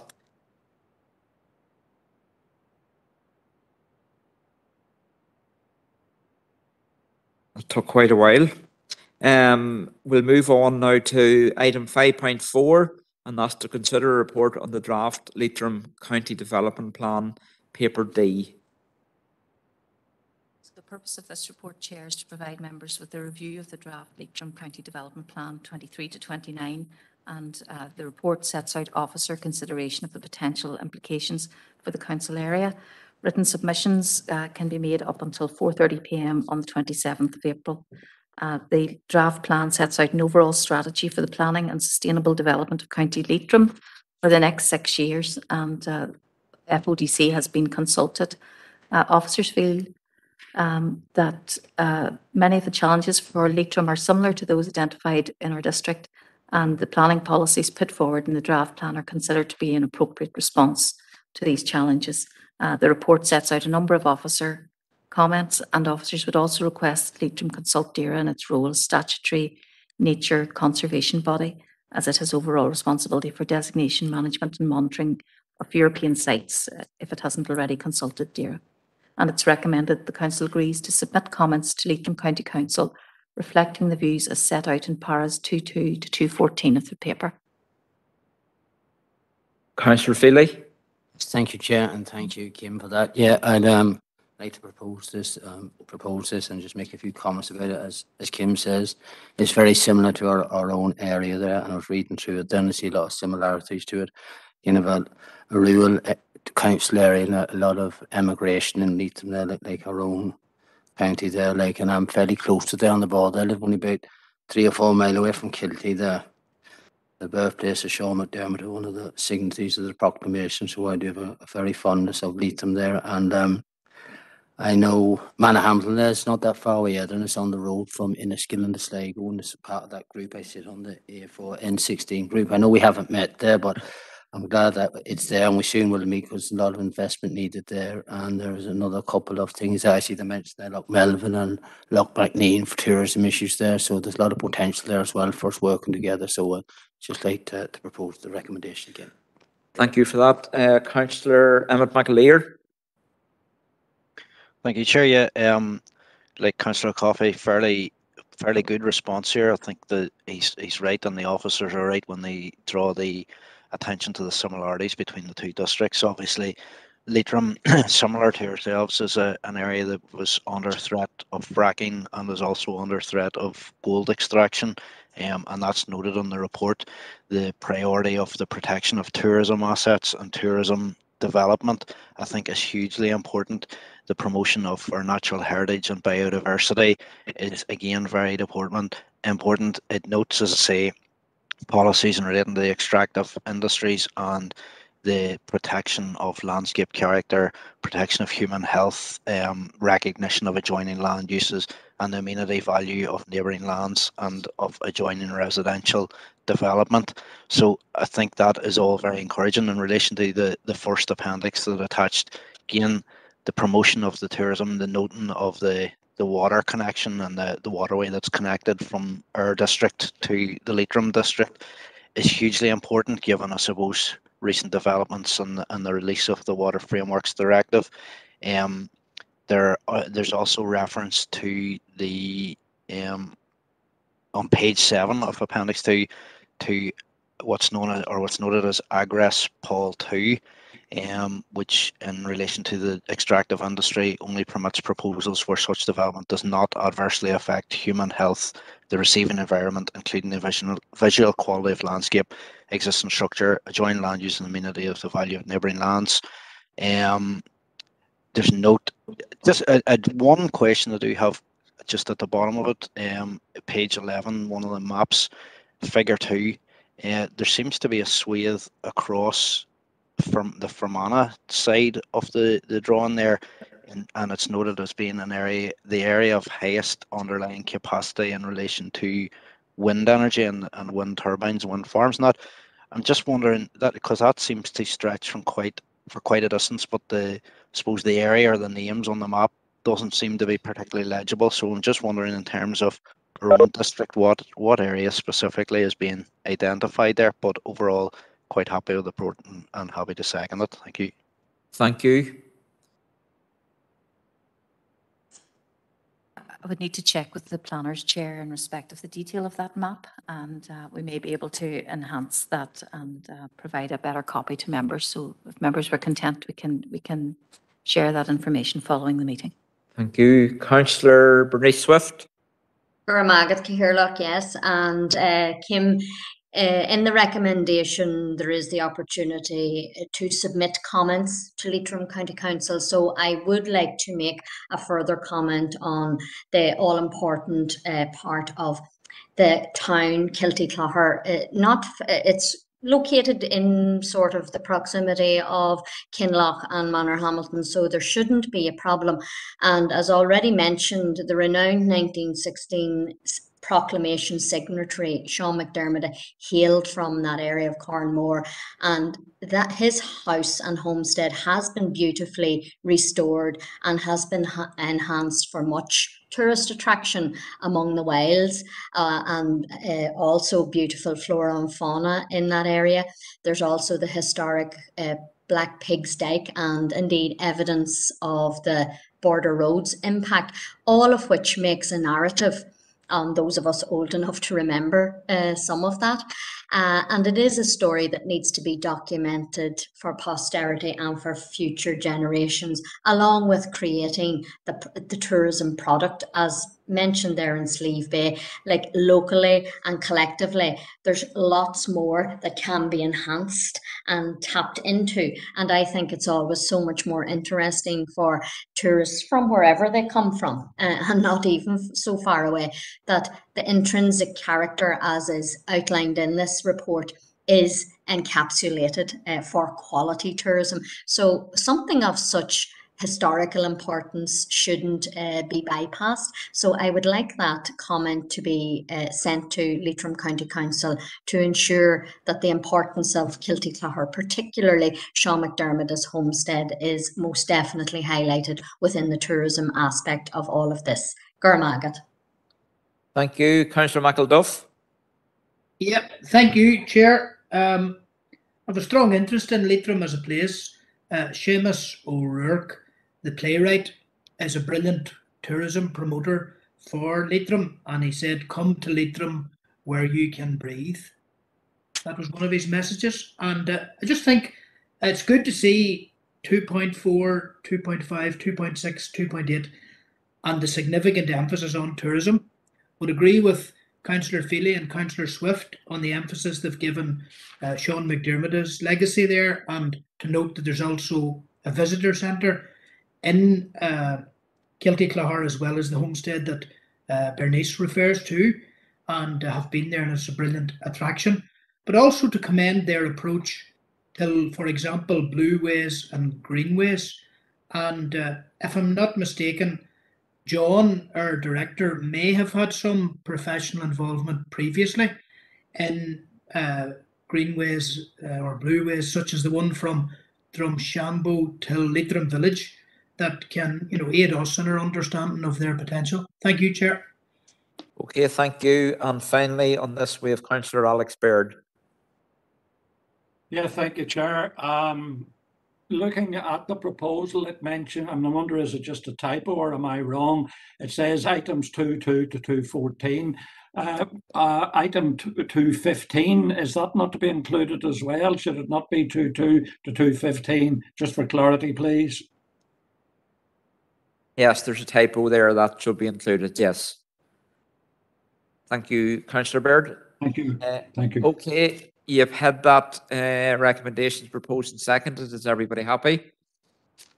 Thank you. We'll move on to item five point five is to consider update report on performance improvement paper E. Chair, so this report gives an update on our quarter three performance improvement um, progress report uh, for the current financial year and also sets out the proposed improvement objectives for the 22-23 year for consultation purposes. And members will be aware this is a statutory requirement in terms of the publication of improvement objectives. Uh, in terms of our quarter three progress update for this year, we have four improvement objectives. There are 15 strands of work with 75 activities. And at quarter three, 85% of the activities were progressing in line with the identified schedule and work plan. 10 have an 10 or 14% have an, uh, an amber rag status and 1% uh, a red status. In terms of performance measures, of the 32 identified, 22 are showing a positive trend against the baseline, uh, with eight at an amber status and two um, showing a red status at this point in time. Uh, in terms of the improvement objectives for the incoming year, uh, the corporate plan identifies five improvement priorities, and aligned to those, we've identified six improvement objectives, which are outlined on the table uh, commencing at uh, page two. We've set out the six improvement objectives and the associated strands of work aligned to each of those. And the recommendation, Chair, is that we note the quarter three progress report for the current year and we agree to proceed to consultation on the draft improvement objectives for 22 to 23 as outlined. Okay, thank you for that, Kim. You've heard the recommendations. Could I have a proposal for them, please? Councillor McAleer and Councillor Anne Marie Donnelly. Thank you. Chair, Chair, just very briefly. Okay. Yeah, no, um, happy enough because yeah, the the issues identified I think are very important, and it's great to have some sort of a monitor there just in terms of how we're progressing in relation to them. But just a note, and it's contained within the report, is just an update or a reminder that the the consultation on the biodiversity strategy is due to close now in 10 days time the 18th of march.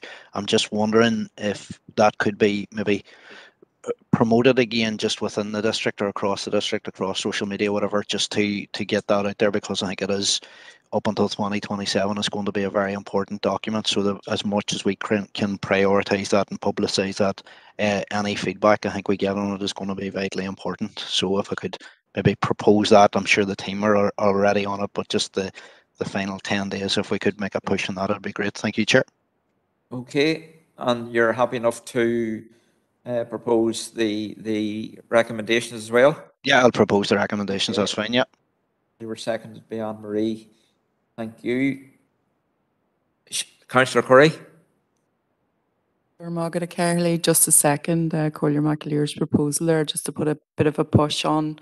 It, there has been social media promotion of the biodiversity strategy being out for consultation, but I would just suggest maybe just a high impact post. Um, they're very interesting posts, but just maybe one focused high impact post, um, just to alert people to it. Gormagat Chair.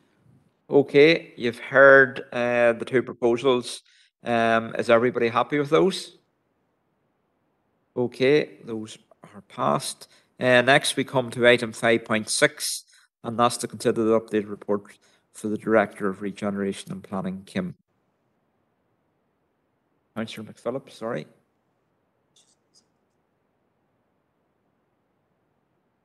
Thank you, Chair. So this, this report provides an update on requests by council that consideration is given to opportunities to fund community-led capital projects which were not eligible for funding through the COVID-19 Recovery Small Settlements Regeneration Programme and also the establishment of a working group to progress capital projects to shovel-ready status in order to avail of funding opportunities. Um, members will be aware that three projects from the approved village renewal project list were deemed ineligible for funding through the COVID-19 small settlements programme as they were located outside settlements. Uh, there was a previous uh, decision at the January meeting of the committee that opportunities were identified to fund those three projects through use of the council's COVID contingency and resilience fund. Um, just to note, members, that all other projects submitted through the small settlements regeneration funding have now been successful in securing funding, and we have received a letter of offer in that regard. Um, so, in terms of strategic capital projects, um, officers have advised that the COVID contingency and resilience fund is, is unlikely to align with the provisions of funding departments in respect of funding community capital projects. Um, the budgetary position has been agreed for 22 to 23 alongside a medium-term capital programme running up to 2027 with a projected capital investment in the region of 100 million pounds um, and significant reserves are earmarked to support that uh, capital programme. The Director of Corporate Services and Governance is also developing a reserves policy, which will come to a future meeting of the Policy and Resources Committee uh, for consideration. It has, however, been identified that there will be an underspend in revenue budgets at the uh, end of the current year, and that funding of up to 1.2 million could be allocated towards a strategic capital projects grant programme, and that will be delivered over the 22-23 and 23-24 years. Uh, it's proposed that the maximum grant allocation would be capped at £200,000 in line with that identified through the Small Settlements uh, Regeneration Programme. So the three approved village renewal projects which were ineligible for funding from the Small Settlements Programme were Kinawley GAA, improving and resurfacing the walkway with an allocation of up to of 50k. The Heber McMahon's GAC at Brookeborough, and that was for a fitness suite extension to the existing building. Um, with the gymnasium and additional changing facilities and an allocation of 200k for that. And Greencastle St Patrick's GAA multi-purpose cultural leisure area and enhancements to the handball facility, again with an allocation of 200k. Subject to approval of the suggested allocations outlined, a remaining fund of 750k would be open then to applications from community groups for strategic capital projects within the district uh, and those need to be able to be delivered by the 31st of March 2024. And all projects should contribute to the outcomes identified in the community plan for the district and the council's corporate plan. At last month's committee, there was a request for uh, the establishment of a working group to work with officers to ensure the availability of shovel-ready capital projects across the district when funding streams become available. In terms of governance of our capital programme, we do already have an elected member oversight group currently in place, and they are due to meet on the 6th of April. Uh, and at that point, the group will review its terms of reference um, alongside receiving a report on current projects, and that's in relation to the review of the capital um, structures within within the council. So, in order to encourage a streamlined approach to the management of capital projects, and that includes from commissioning stage right through to project closure, and also in light of the significant resource implications which are associated with management and servicing of the wide range of working groups and partnerships which are in place, we're suggesting that the terms of reference for the Capital Programme Oversight Group is expanded to encompass the role in respect of project development and readiness, as opposed to the establishment of an additional standalone group. The membership of the Oversight Group is cross-party, and the membership is as outlined at paragraph 2.2.4 and those members were appointed at the annual meeting in 2019. Uh, in terms of financial um, implications, the allocation of an underspend of 1.2 million to a strategic capital grants programme would be on a one-off basis with a post-programme evaluation to be completed at programme close to identify benefits and additional value. As this funding has been identified from current year underspends, it will not be a recurring fund. Uh, it will be delivered by officers from the Regeneration Planning Directorate uh, in association with the wider funding and capital programmes. And uh, programmes relate to investment in community-based capital assets uh, and efforts will be made to ensure geographic spread of projects across the district. And members, the, the recommendations are that um, the council agrees to allocate funding of 1.2 million to a strategic capital projects grant programme for the next for the 22, 23 and 23, 24 years. that the three approved village renewal projects as outlined are supported from this fund with allocations of 50,000 to Kinawley GAA, 200,000 to Heber McMahon's GAC and 200,000 to Greencastle St Patrick's GAA, subject to confirmation of statutory approvals and the ability to spend uh, on spe- specific projects by the 31st of March 2024. That a call for applications for community-based capital programs within the district is developed with details of the program criteria to be presented to the April meeting of the committee. And that the terms of reference for the elected member-led capital program oversight group is expanded to include a project development and readiness role to ensure projects are sufficiently progressed in preparation for future funding opportunities. Chair. Councillor Clark here. Sean. Hello. Hello. Yeah, I, Chair. Sorry, I, I I needed to declare an interest that I would have a, a connection with one of those GAA clubs mentioned. Okay. Thank you, Sean. Councillor McPhillips. Thank you, Chair. Uh, just happy to propose the recommendations. Okay, thank you. Councillor Feely. Thank you, Kim, for that. Kind of all that. Yeah, I'll second the, the recommendation. It's glad to see this funding coming into our rural areas and it's badly needed and see extra funding come in for some other projects too. So just happy to second.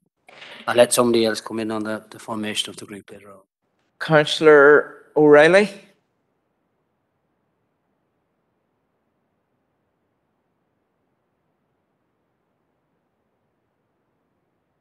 Councillor O'Reilly. Sorry, Chair. I forgot that I was, uh, I had to unmute myself. Um, my apologies. Uh, first of all, uh, Chair, I would like to compliment Kim and all the staff uh, there that have worked so hard over the, the months on this to, uh, and alongside the councillors, I might say, that pushed uh, for projects to be uh, included and for projects not to be left out. And in turn, we have brought a lot of much needed funding to a lot of local communities. And I think this is very much what council and local council is all about, is that we are here to advocate on behalf of our uh, local areas in order to be able to improve them. And I think uh, this funding between the departments and what we're uh, proposing to allocate here and the potential that it has will make a real difference in a lot of uh, communities. Uh, I suppose as to uh, the membership uh, chair um, that we mention here at 2.2.4, um, I had proposed, Chair, this this group to look at the um, at the potential for capital projects and to get them shovel ready.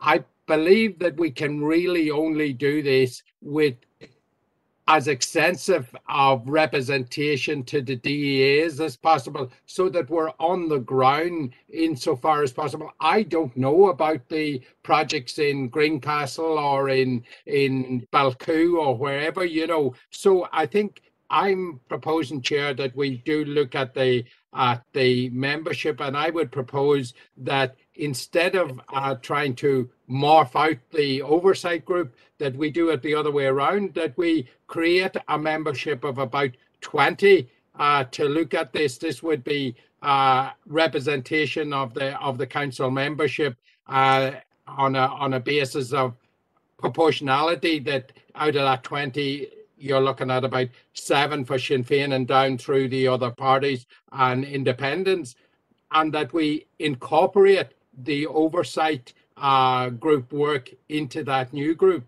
because I think it's important that we uh, have the local knowledge. Otherwise, we're not going to be able to pick up those local projects as easily as we would if we have people there that are as locally connected into all of the uh, projects and all of the communities. So I'm proposing that we we change that membership end of it to ar- around about 20 there uh, representation uh, of the representative of the council uh, group and strengths.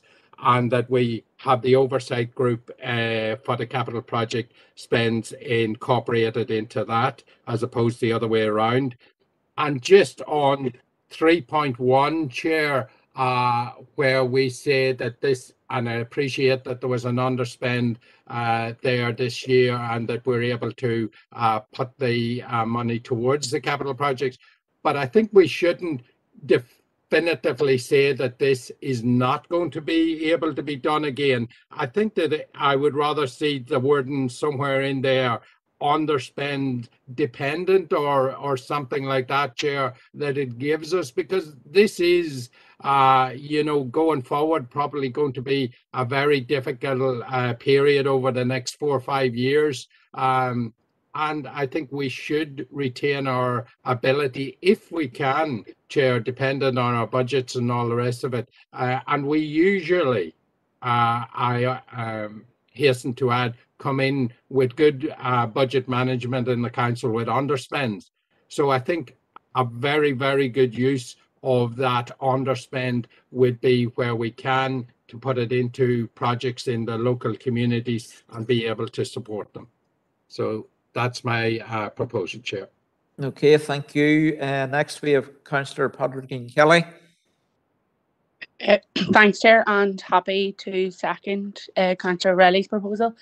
Just wanted to be associated with the comments and thank him and all the officials and directors and indeed the councillors who have worked very hard to get these three over the line and um, particularly uh, would like to welcome Greencastle, um, a very hard-working club who uh, in my own DA and a good rural club and deserve uh, the funding. So thanks very much. Okay, next we have Councillor Robert Irvine. Thanks very much, Chair. I'm probably going to pour cold water. I, I think some, and some of the enthusiasm here. I, appreciate at 8.2 the recommendation that we did have a discussion in PR in January. And because those three failed to meet the criteria of central government funding, that this council decided we would try and take the slack up and go forward with it. We did not at that stage envisage, I think, as the officers are coming forward here, that there would be um, a saving in revenue spend. Uh, and now we are talking about allocating it to further community capital projects. Look, members, we haven't really talked about this. We've just gone through, and I'll reiterate, we've gone through an estimates process, we've gone through a rate setting process.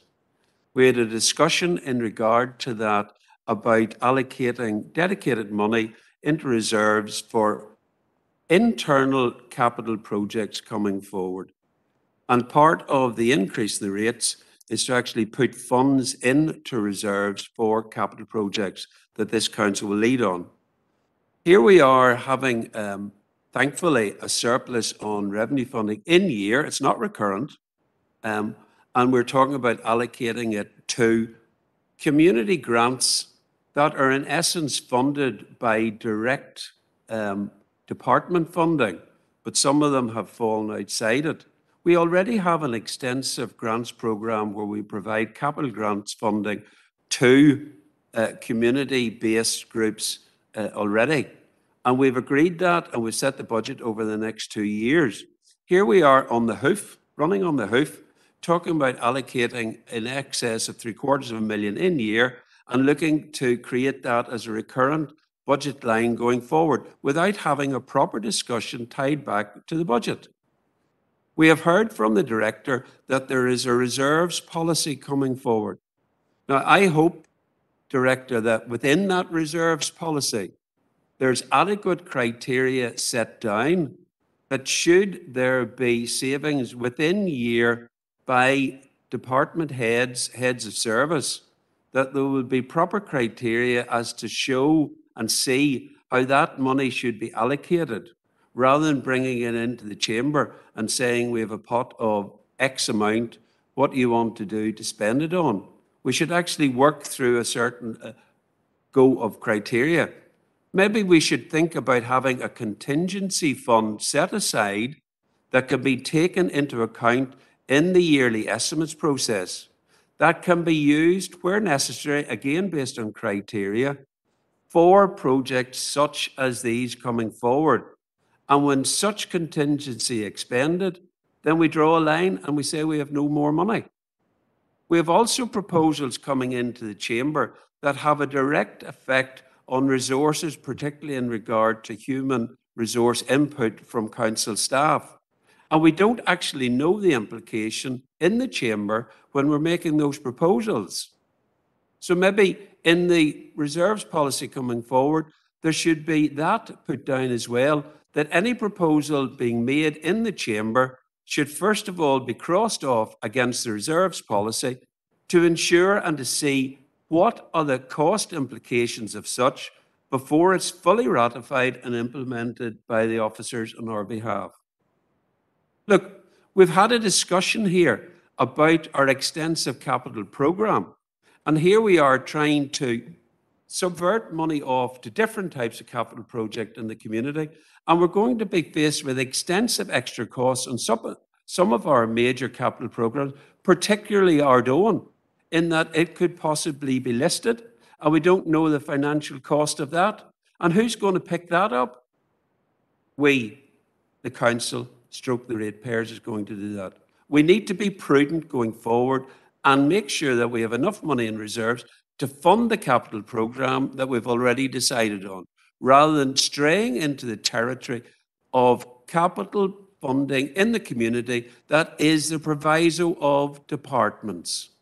So I'm against the recommendations currently sitting down. Thank you. Okay, Councillor Anne Marie Donnelly.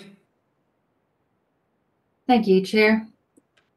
That's quite a it's quite a lot to take on board what Robert is saying there, but um, I understood we were trying to be ambitious in how we are going to look at capital projects across our communities. You know, we have discussed this at length about trying to encourage communities to come forward with projects, to come up with ideas. You know, I think it's fantastic to have a pot from underspend to utilise it in such a way to invest in our communities. And we should be commending officers for bringing forward such a proposal to the committee tonight. I don't think it's it's certainly not bad news. Investing in our communities is exactly the type of council we should be. So I thoroughly support the recommendations in front of us tonight. Thank you. Thank you. Next up, we have Councillor Alex Baird. Thank you very much, Chair. I just wish I was half as articulate as my colleague, Councillor Irvine, who can be succinct and accurate in what he says. But what concerns me about this is we went through a prolonged rate setting process and we came, well, an agreement uh, and a figure was arrived at. Now, during that process, Robert leading us and our, my party, uh, it was discussed that any savings, whatever they be, in year, instead of being spent and just automatically disposed of, went into reserves. Now, suddenly out of the blue, 1.2 million pounds becomes available. And the questions I've got to ask, where did it come from? When did it become available? Because if this was known, it should have been a consideration within the rate setting process, and we would have been able to have lower rates, I would have thought. Now, 1.2 million, I, I don't know what the, the percentage figure, uh, single percentage figure of a rate increase is, but I'd hazard a guess uh, that 1.2 million probably represents 2%. Now, again, Robert used the phrase, and I'd written down before I was going to speak about policy on the hoof. We've changed policy on the hoof of public art, where uh, we had a, a, a, convention, if not an agreement, that public art would be privately funded, and we overturned that. It, it seems just that uh, custom and practice doesn't apply. Uh, the same principle should be here. This money should be going back into reserves. It's just a, the ratepayers uh, who uh, we are finally responsible to, I believe, will be aghast that one, the money was found, and two, it's going to be redistributed uh, uh, immediately, well, in, uh, in the plan. So I support my colleague, Councillor Irvine, but I will not support this. Thank you. Okay, next up we have Councillor Howard Thornton. Uh, thank you, Chair. Yeah, I mean, I just want to reiterate what Robert said. I mean, a revenue, a residue from revenue going into capital. You know, I, I don't see how that can be. And uh, with regard to what he said about supplementing government departments, again, we're going down the line. If the criteria wasn't met, within the council stumps up. Now, while I have sympathy with community groups and so on and so forth, uh, really, we've got to be thinking of our own capital projects as a council and how we're going to finance those without a diverting revenue costs across. So again, I would not be happy with the recommendations as they are, Chair. Okay, Councillor Tommy Maguire. I go Margaret Carley. Well, uh, I'm, I'm obviously not in agreement with some of the comments made there because as far as I recollect, the, the, the availability of, of this funding was made clear at the estimates evening, uh, which probably went part of the way where some members decided to propose the rate increase of 1.2% on our district. The other thing I would consider that uh, these three projects were part of, I recollect right, of 14 projects that were discussed at LAG meetings, of which I'm not a member, but we were fairly clear that there was 14 shovel-ready proposals within the, the, the, the LAG. These three fell outside the, uh, the COVID recovery small settlement scheme, and uh, hence we're in the position now that uh, with this added capital money we have secured prudently from the rates, that these three projects can now get the funding from ourselves, which, as other councillors have said, is fundamentally what we are here to do as councillors to enhance the services we provide and enhance the, uh, our communities. And uh, we are all continually talking about our, our rural uh, deficit across our district. And uh, given the geographical spread of these particular projects and their rural nature, I think that will be welcomed by the communities there. Uh, on the issue then, as Councillor O'Reilly indicated that uh, the terms of rec- reference, or sorry, the the the the makeup of the group, uh, certainly I think it should be more rural focused. Uh, uh, it should be enhanced. the councillors that are living in their communities, as Councillor O'Reilly said, he doesn't know much about Greencastle and and the various other far strong areas in our district. I again would would concur with that. As a town councillor in Enniskillen, I'm not aware of the full impacts in the rural communities, but uh, I, I, am uh, been listening here long enough over the last 10 years and, and all the, the rural deficits that I have uh, listened to, and I agree with that we as a rural district do not get the proper funding from central government. Uh, through our prudent uh, calculation through our rates, this money has been secured for this purpose, and I welcome it. But uh, I would agree with Councillor O'Reilly, and some consideration needs to be given to the makeup of our oversight group going forward. Margaret Carley. Okay, thank you. Councillor Donal O'Cofaigh. Yeah, thanks, Chair. Um, I uh, I think there are very uh, genuine issues being raised here. Um, if this has arisen from an underspend in revenue budgets of 1.2 million, uh, I I have to question why it is that this is just going to rural areas.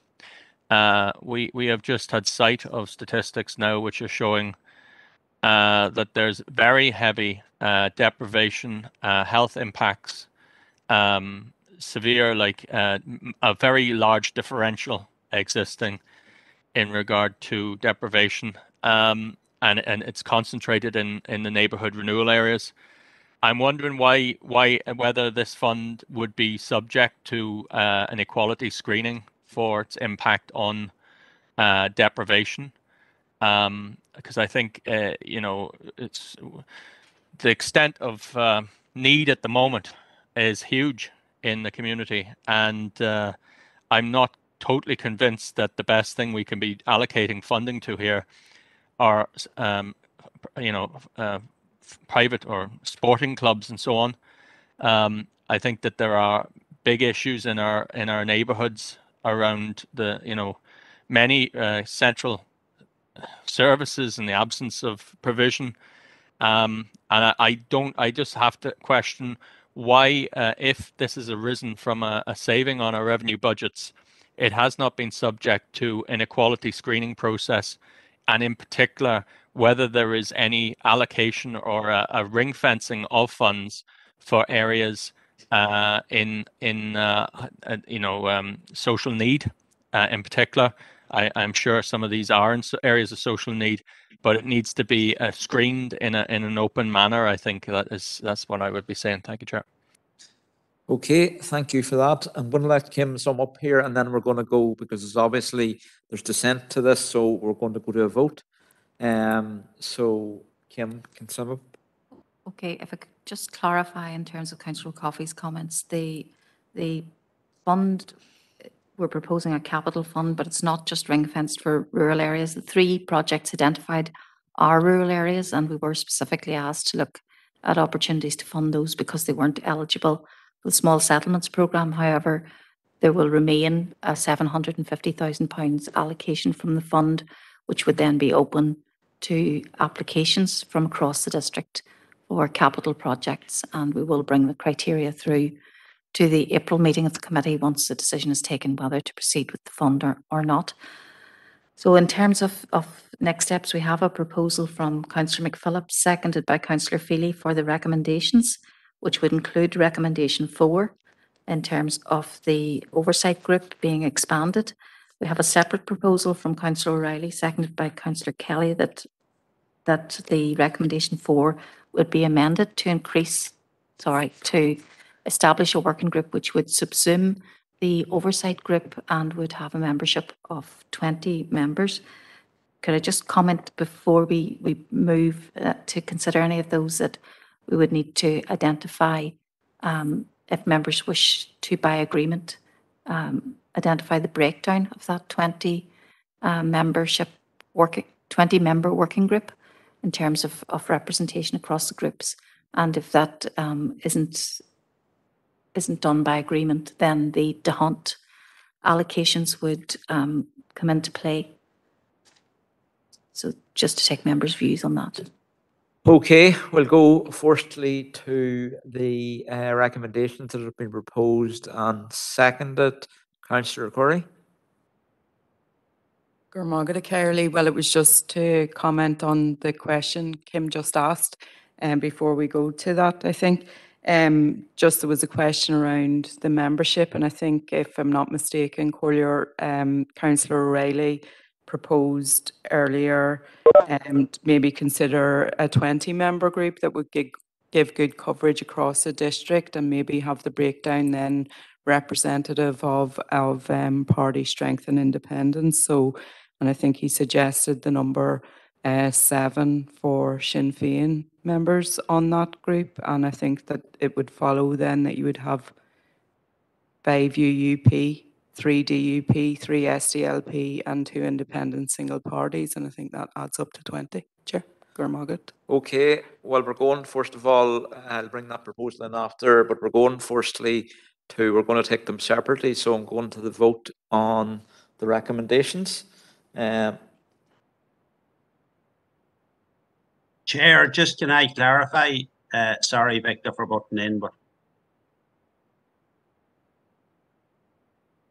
um, I don't know whether you can hear me, but I can't hear you. But if you can hear me, Chair, uh, just to clarify, uh, I would suspect that Councillor Feely uh, will incorporate uh, Councillor O'Reilly's proposal into his uh, before we go to the vote on that. Maybe that should be clarified. That's Councillor McPhillips' proposal, seconded by Councillor Feely. Yes, yes, sorry, Councillor McPhillips. If Councillor McPhillips was happy enough to incorporate that, I think that would maybe solve the, the, Okay. because I think they're overlapping maybe. Okay.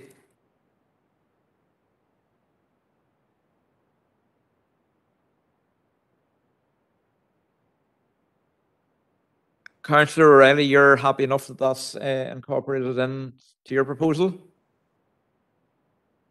Yes, Chair. Okay.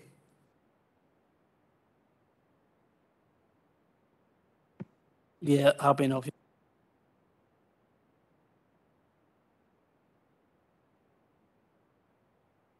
What? Chair, can I request a recorded vote, please?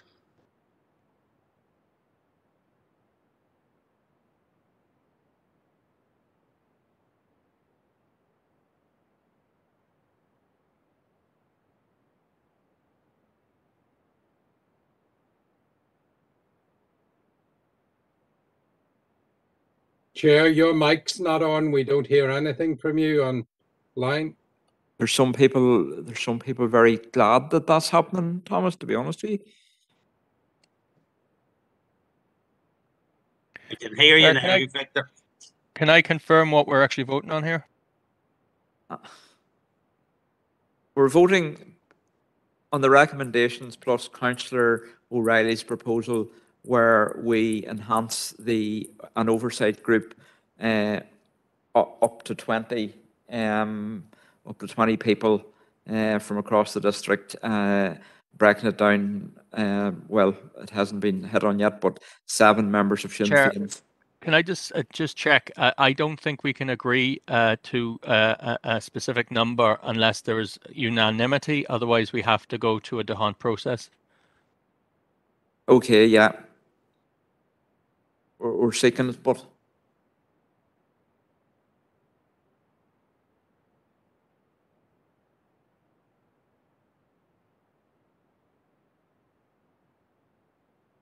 I take it everybody online has voted now. Uh, can we, well, can we set it up in the chamber? Chair, I, uh, Alec here, I haven't been able to vote. Um, uh, all that talking was going on. I was listening to it and then the vote closed. Same Okay. here, Chair. What, what, Sorry, what, Chair, the same here as well. What we, what here, we'll yeah. do, what we'll do, please settle down, what we'll do, we will cancel the two votes and we will start them again afresh because there was too much talking when they should have been listening. Um, so we will start off again, um, with a new vote, both in the chamber and online.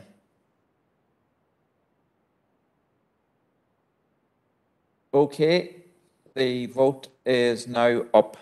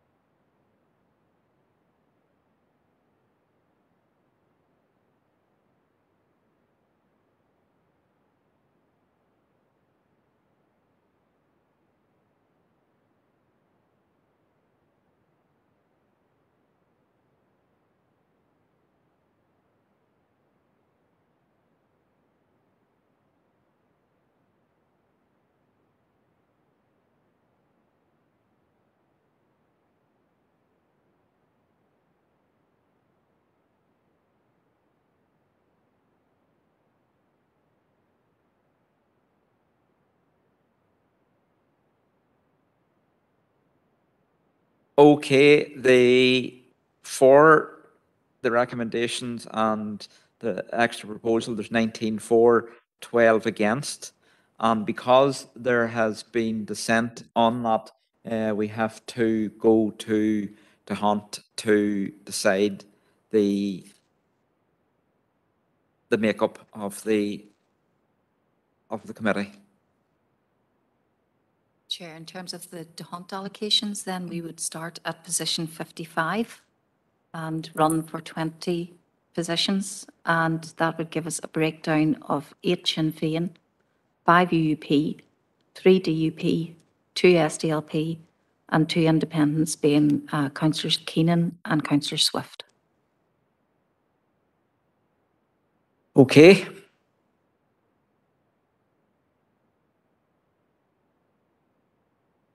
Okay, that's been noted. Uh, That is now proposed and passed. Um, we're going to move on now. Remember, we are at after quarter past nine, and we're now moving on to the community, community and well-being reports. And we're over to John, and the first one is to consider report on the Irish Language Delivery Plan 22-23, paper G. Thank you, Chair. Um, the Irish delivery or the Irish language delivery plan is included at Appendix One. It, it was discussed at the all councillor Irish language briefing session in, in February of, of this year. Uh, and simply, Chair, it's uh, approval for, for the delivery plan itself. Thank you, Chair. Okay, first up, we have Councillor McAleer. Yeah, Chair, mindful of the time, I'm happy enough to propose noting, I think it's a, a very promising project and uh, I'd like to commend the team on, on bringing it this far.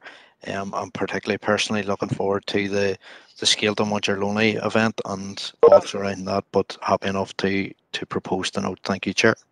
Thank you. Next, we have Councillor Sean Clark. Chair, I I want to second the report. Okay, thank you, Sean. And then we have Councillor Chris McCaffrey.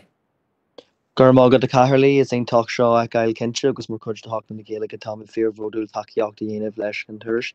Um just uh, just reiterate the comments that have been there. Happy to support the delivery plan. I do think it's excellent and great timing as we're into Seachtain na Gaeilge now. Gurmagad. Okay, thank you.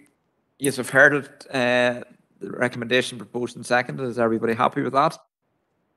Okay, we'll move on. Next is six point two, is to consider a report on fair funding for organisations in the voluntary and community sector. Thank you, Chair. Yes, in, in December, uh, the Minister for Communities announced a fair funding approach uh, to support the voluntary and, and community sector. Um, and, and, and for funding for posts directly related to the Department for Communities. Uh, we have got an offer or further offer. We were received funding in December of 21, but we've got a further offer uh, in February of 22 for for posts in the community and voluntary sector that are funded through the community support program, and namely those within our district related to community advice Fermanagh and Omagh Independent Ad- Advice Service it, it's proposed, and, the, and these proposals come from the Department for Communities uh, as to what is funded in relation to uplift of salaries of those personnel that are that are employed in those two organisations.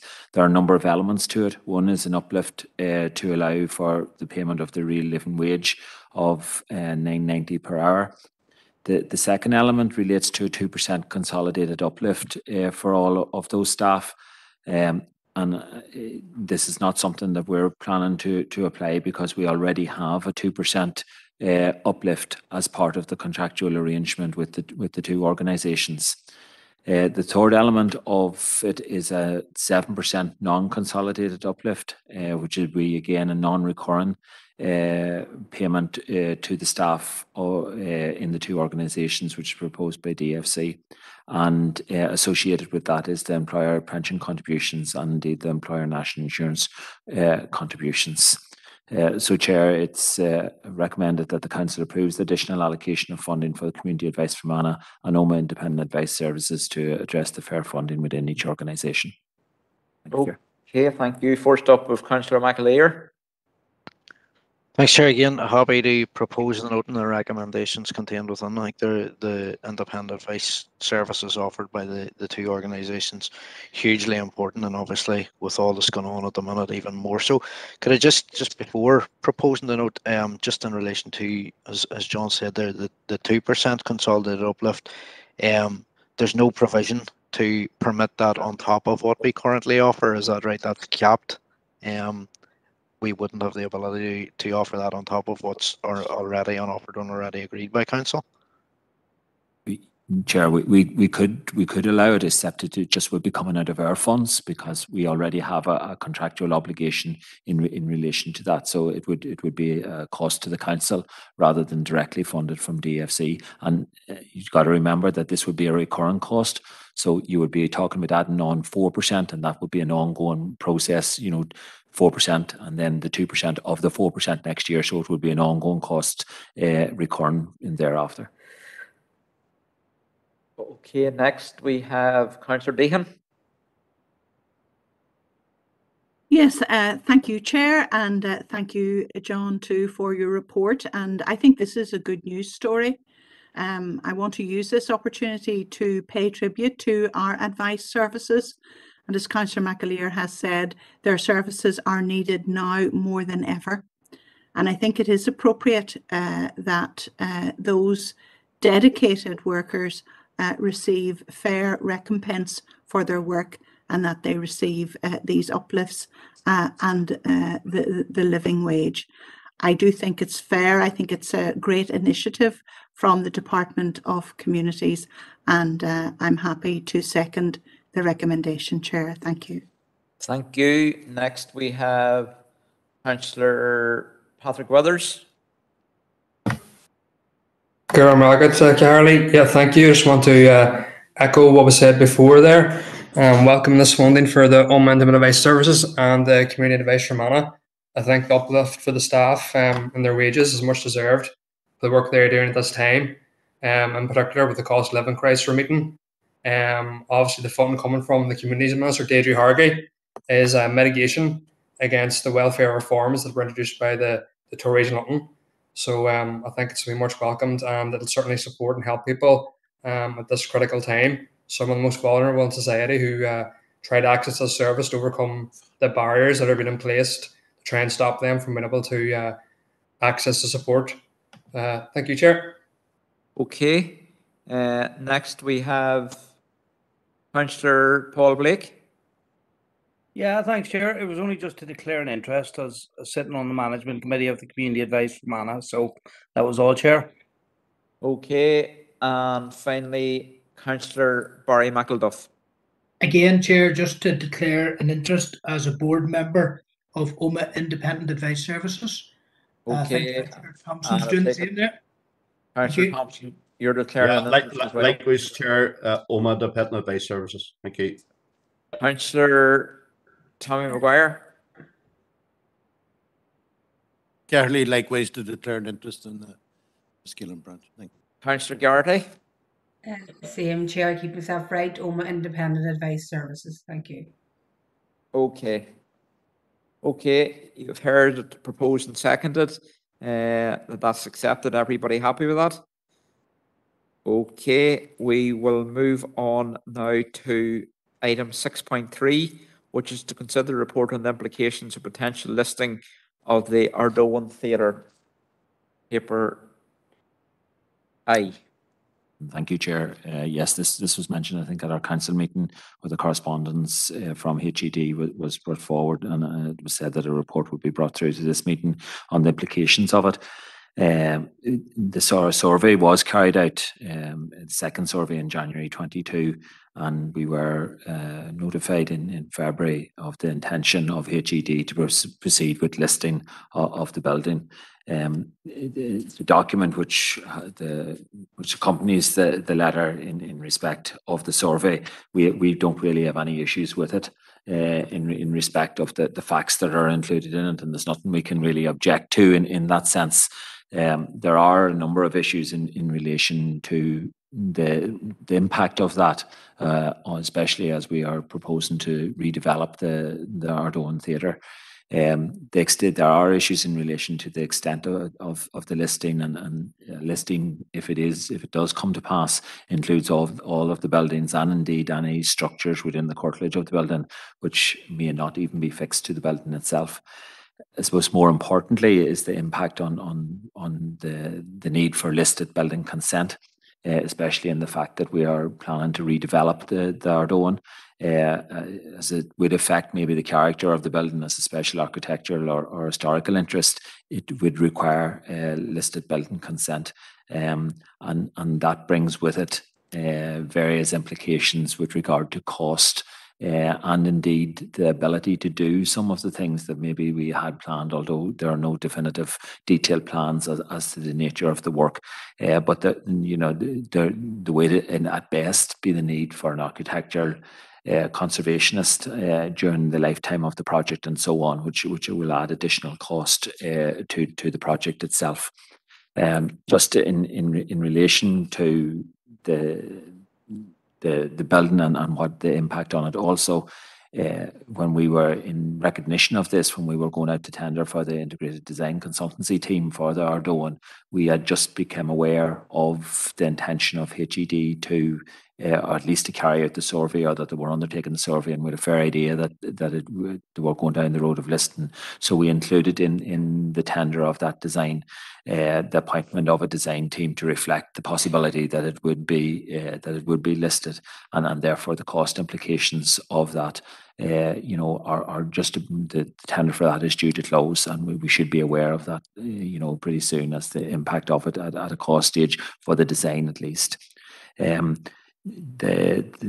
you know it, may impact on the council's aspirations, especially in you know a, a user centered, you know, environmentally sustainable, accessible uh, building.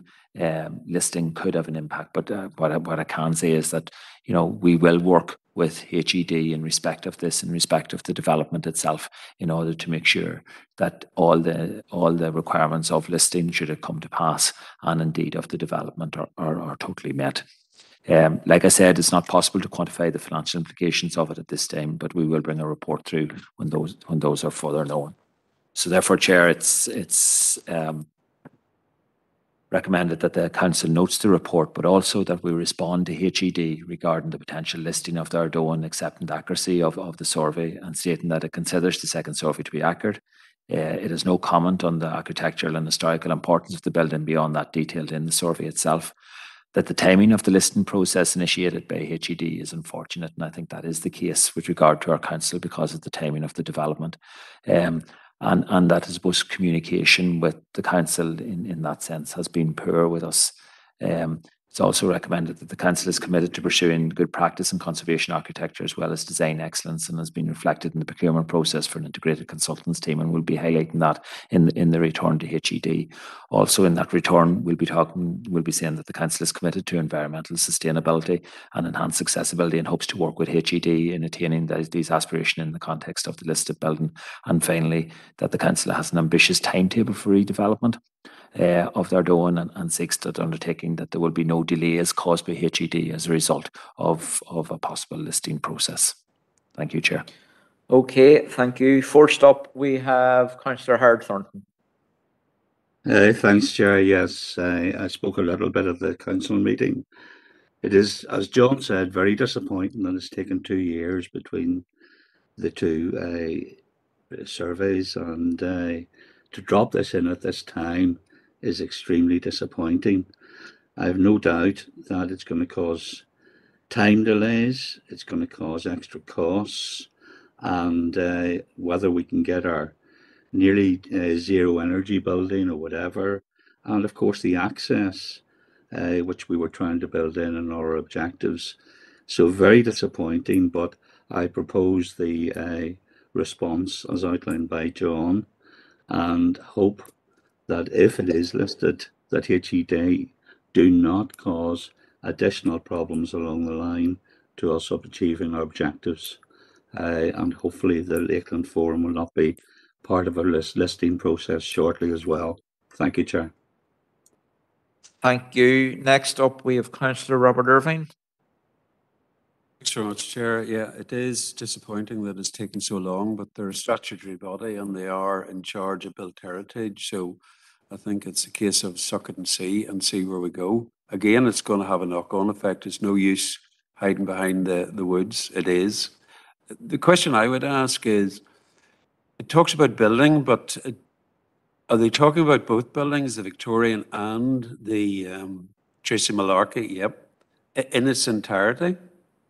And what about the environs that actually add, could possibly add to the um, locality of the place. I'm not sure whether they, they, they indicate there, I think, under their, their reference, but Chair, I suppose uh, listing status is, is included there at two point three, and I, I just can't confirm that it is both elements of the building itself, um, and it is in relation to the structure alone. So I suppose if you're talking about the environments around it, no, it doesn't refer it doesn't refer to that element, but just to the building itself. Doesn't currently because it hasn't been listing. That's the intention. Would they actually come out with the final listing? It may actually. So could we, could we bottom that out at, at some stage? Because that's going to have a direct effect because we were talking about, I think in the, the original outline proposals, that a certain amount of redesign with regard to parking, access and landscaping, you know, around the area could be affected. And if, if you are looking at it uh, from a HED um, conservation point of view, it, it's not just the building, I would presume. It's the setting of the building. And the setting actually would partially contribute to the overall aspect. So I think we need to get that uh, fully quantified and bottomed out.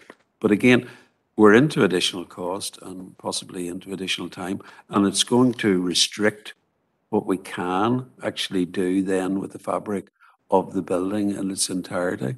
So it's unfortunate, but uh, we're stuck with it. Thank you. Thank you, John. Thank you. Next up, we have councillor Paul Blake. Uh, thanks, Chair. Also sharing the disappointment uh, that I all felt already by Councillor Irvine and Thornton on it because it is very disappointing, this, especially the time frame on it and the timing when we had such a bold uh, vision for the Ardhowen Theatre because it very much is an asset for, for the for the town and for the district.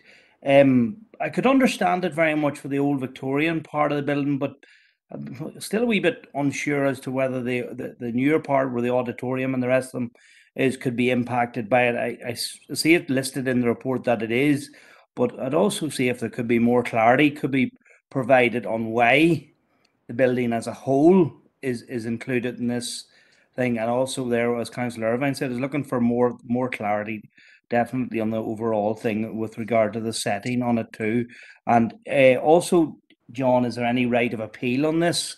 Because I think it will definitely impact, especially on our costs, but also on our on our vision for the project that we want to create there on that site. Chair, just in relation to the new part of the building, the reason why it has actually been included is because it, it, it was developed by a renowned architect uh, and as was his designs are such that they, they do actually come in under special architectural interest uh, and therefore it is very much part of the of the design process itself.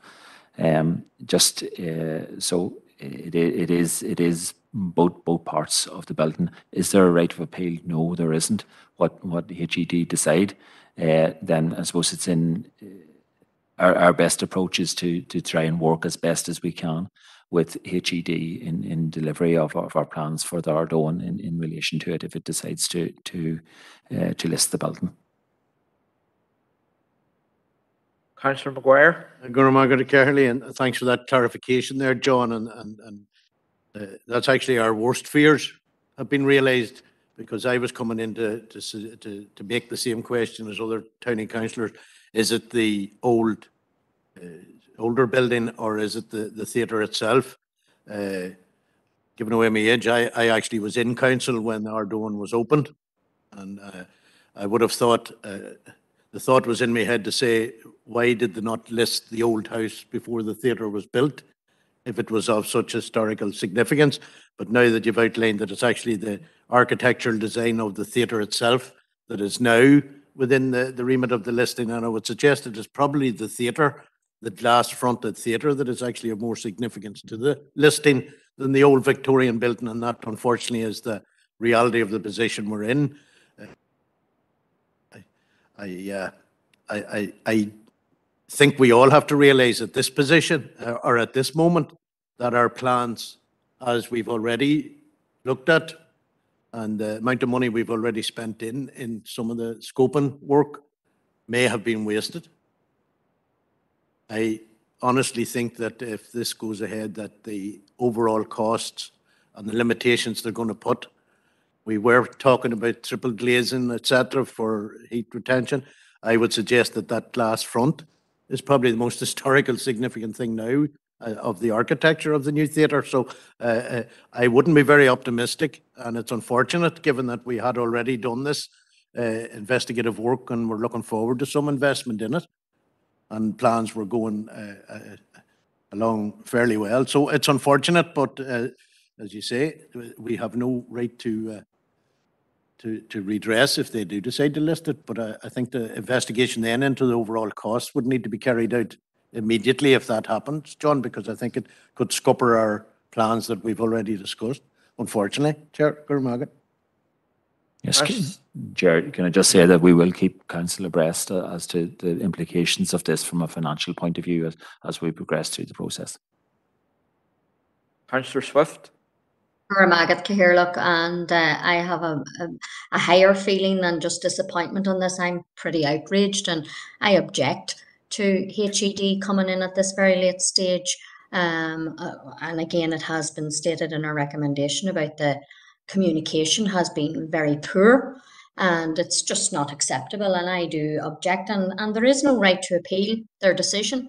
And, and it is very questionable why at this late stage. And that's notwithstanding the brilliance of the Ardhowen's foresight away back so many years ago and the beauty of it as it stands. But we have very ambitious plans to put forward. And I would really despair at the thought of any of those wonderful plans being scuppered, future proofed, and everything else, and would undoubtedly be brilliant. And it is totally and blatantly unfair that a statutory department now is interfering with our project. It's just not good enough. And furthermore, there is miscommunication out there as well that it is we, the council, who is intending to list the Ardhowen and not a statutory body. So, you know, that's unfortunate too.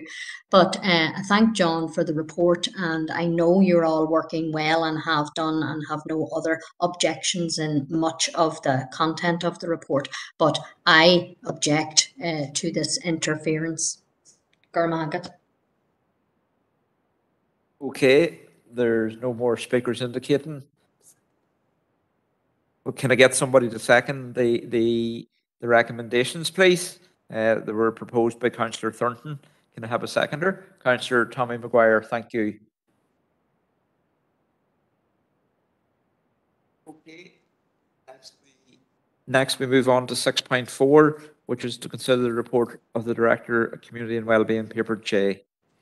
Thank you, Chair. There, there are four elements to the report, Chair. Uh, one is to seek approval for the Stillbirth Neonatal Charity, which is known as SANS, and I think there is a SANS group already exists in Omagh, uh, to use the Fermanagh Lakeland Forum as a host location for four awareness sessions, and indeed maybe thereafter for them to set up a group and to, to meet on a regular basis uh, using football as, as, the, as the meeting point.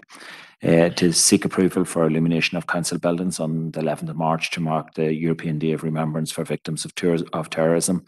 Uh, to note the events to, to mark the 40th anniversary of the opening of Omagh Leisure Complex and, and to seek approval for 40 pence fitness classes uh, just to, to mark that event and to note the reopening of all leisure centre facilities and programmes following the easing of COVID restrictions. Um, Chair, the, the 2.1 deals with uh, the SANS awareness sessions um, you know, and I, think it's a positive uh, contribution to, to to our district again. Uh, the second one is the illumination of the council buildings on the 11th of March to to mark the European Day of Remembrance, the 40th anniversary of Omagh Leisure Complex.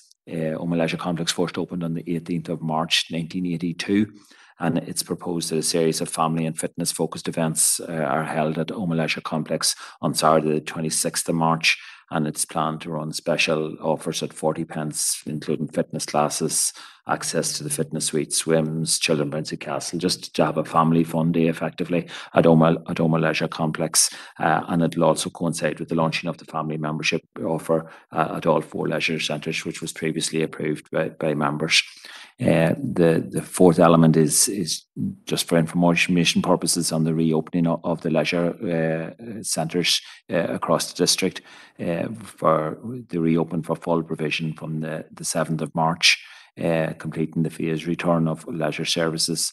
Uh, I'll draw members' attention to the final paragraph uh, there about you know the the messaging and the reopening is is emphasizing caution, still the need for, for continued personal responsibility and, and to respect all other users and, and indeed staff in the facility.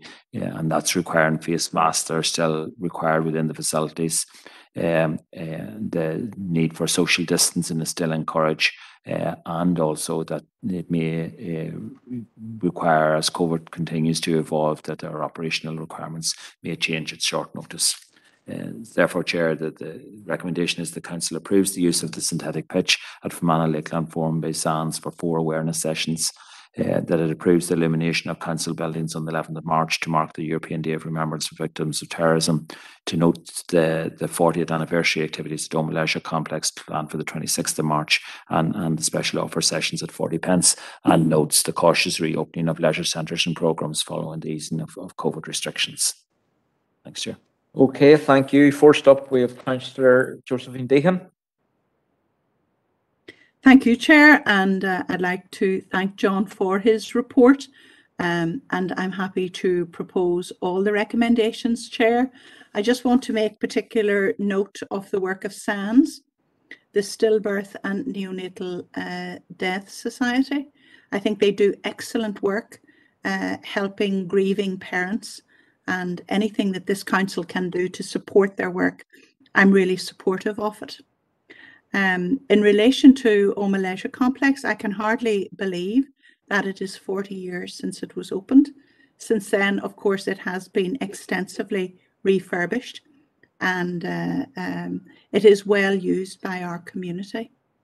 In relation uh, to uh, the reopening of all our facilities, well, I do uh, welcome that, Chair, and hopefully it will contribute to a sense of normality within our within our district. However, I want to sound a, a very significant um, note of caution. Uh, I think that uh, everyone knows that COVID has not gone away and that it is everyone's personal responsibility uh, to uh, behave responsibly and to take all precautions necessary uh, to uh, prevent um, uh, spread of infection within our community because our health services are, are already under severe pressure and we certainly uh, want to keep our community safe and to ensure that our health services can cope uh, as best they can during a very difficult period. So happy to propose recommendations, Chair. Thank you. Okay, thank you. Next up, we have Councillor Matthew Bell. Uh, thanks, Chair. Um, I also want to thank John for this report. Um, this is for um, uh, very different recommendations, but uh, all the same for um, excellent recommendations, and I'm happy enough to second them all as well. Um, in relation to um, illuminating the, the, the buildings for European for victims of uh, terror. Uh, in relation to item two, anyway, um, I think we here in Northern Ireland um, know very well the effects of terrorism, so it's great to see we're joining our European um, allies in marking that. Um, in relation to item three, I, I think this is an excellent initiative. Um, I, think it will encourage lots of people to uh, go to Omagh Leisure Centre, which does offer fantastic facilities, and hopefully we'll get a few more people come back and just generally promote health in Omagh. And then um, lastly, um, in relation to item four, Councillor Deehan was absolutely right. Um, we do need to be careful and continue good practice for COVID uh, or to prevent COVID, sorry. But um, I, I, I think it's also worth stressing positivity. We, we, I think it is a sign we're coming out of this pandemic and um, perhaps a good time to reflect on all the hard work people put into the community and all the sacrifices many people made as we start to get back to normal. Thank you, Chair. Okay, thank you. Next, we have Councillor Barry McElduff. Thank you, Chair. And uh, just to zone in on item 2.3, the 40th anniversary of Omagh Leisure Centre, Omagh Leisure Complex, as it has become more known more recently. Just want to commend the Council and the management team and the manager, the current and past managers and staff over those four decades because, as the note says, it really is at the heart of the Omagh and rural community in our area, and uh, it has made a brilliant contribution to everybody's overall health and well-being. And I like the 40p initiative. You know, people will avail of that and enjoy it. 40 pence for this and 40 pence for that on the day. And uh, going to coincide with the launch of the family membership. So all's positive there. Just in relation to health and well-being, I think maybe at the, a future meeting of this committee, it would be good to hear about the role and operation of our health and well-being program.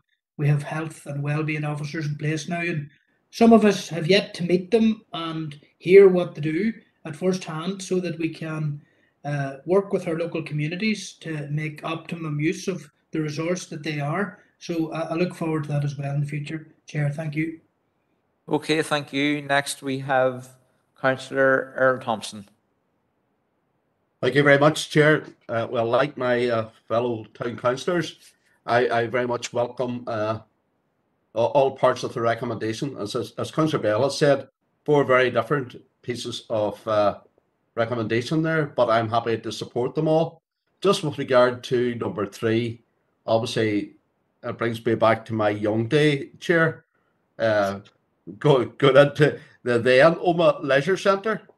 Uh, when I was a lot a lot younger than I am now, and uh, it's hard to believe the forty pence uh, uh, offer the sessions for forty pence, but uh, through through those years it was uh, it was good that we had the foresight to do a, a lot of work. It needed to be done to Omagh Leisure Centre as it was then, uh, and we were part of the I and others were part of the refurbishment working group uh, with the what is now Omagh Leisure Complex, and it was very much to be welcomed at the time, and the community has been in, in great support of that. Just with regard to the fourth part of the recommendation, obviously Councillor Bell touched on it as well. Uh, I think it's a lot to do with common sense, John, and it has to do with positivity as well. So let's let's be positive as we move forward. Happy to support the, the recommendations as listed, Chair. Thank you. You, next, we have Councillor Anne-Marie Donnelly.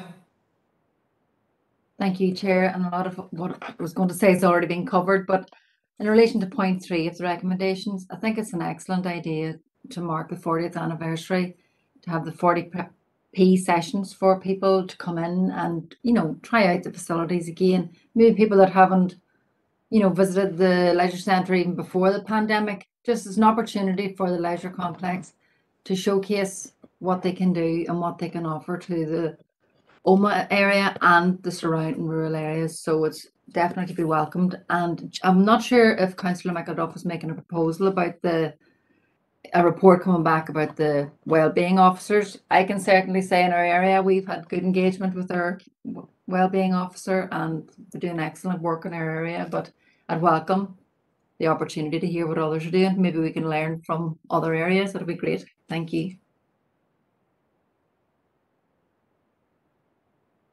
Okay, thank you. And finally, we have Councillor Anthony Feely. Thanks, Chair, and thanks, Kim, for that. And I just want to come in on, on 2.1 there, the SANS awareness sessions, and I think it's a very good initiative. And fair play to them fellas for starting that up. Like one, one of them guys contacted me that was starting up that football team. I know he, he contacted other councillors as well. And it's great to see, good to see men getting out to talk about issues like that, which as everybody knows, not that good at talking about stuff like that. It's very emotional thing to happen in any family. But they're looking for um, some kind of support and I would encourage the council to give them as much support as we can and for officers to explore ways we could help them out as, as uh, they're looking for the use of the pitch, maybe give them a discount or stuff like that there, just them as much help as we can, for I think it's a good initiative. Thanks, Kim. Thank you. Uh, okay, you've heard the uh, report uh, proposed and seconded. Is everybody happy with that? Thank you. Okay, we're moving on now. As I said at the start of the meeting, we're going to omit uh, items seven and eight at this stage and move to correspondence. And we are going to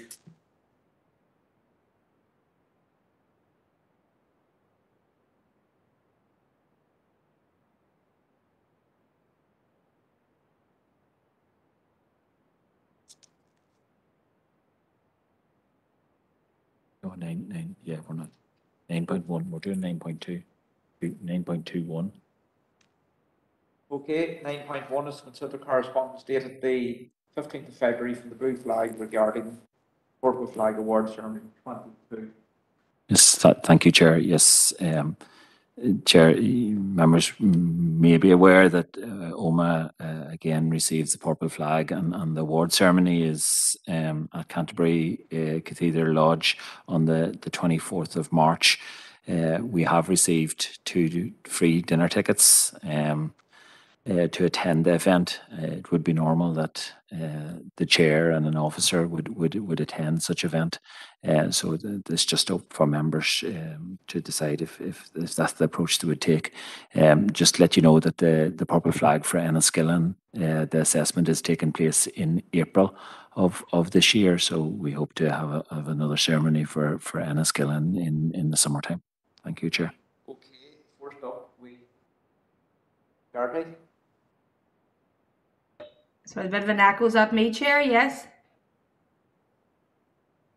Sorry, councillor Garrity, yes. Yeah, thank you, Chair. Um, and thanks, John. Um, listen, uh, I, I will happily go with the view of the members, but I know in previous experience I was lucky enough to visit this event, and I think it shows our interest in our two major towns uh, and and the purple st- uh, status as well. So I'm not sure the availability of the chair for this event, um, John, but if it was the members' wishes, I think it should be attended and, and show the support um, that we give to this recognition.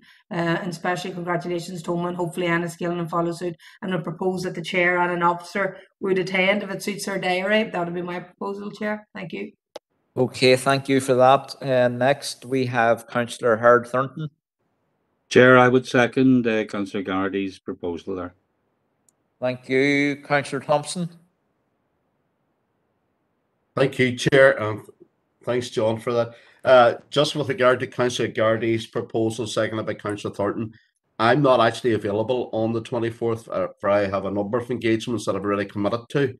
However, uh, I, I do believe that this council should be represented by by an officer, and if possible, maybe maybe the, the vice chair would be able to attend.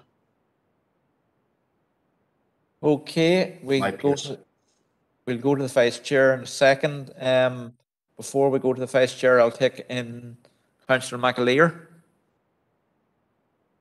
Thanks, Chair. Um, yeah, it's great that we're getting the award, but I note that the, the email or the communication says that the, we get two complimentary tickets for the dinner, but it notes that it's been held at the Canterbury Cathedral Lodge in Canterbury, and I'm wondering just what the additional costs will be and who will be footing the bill for that.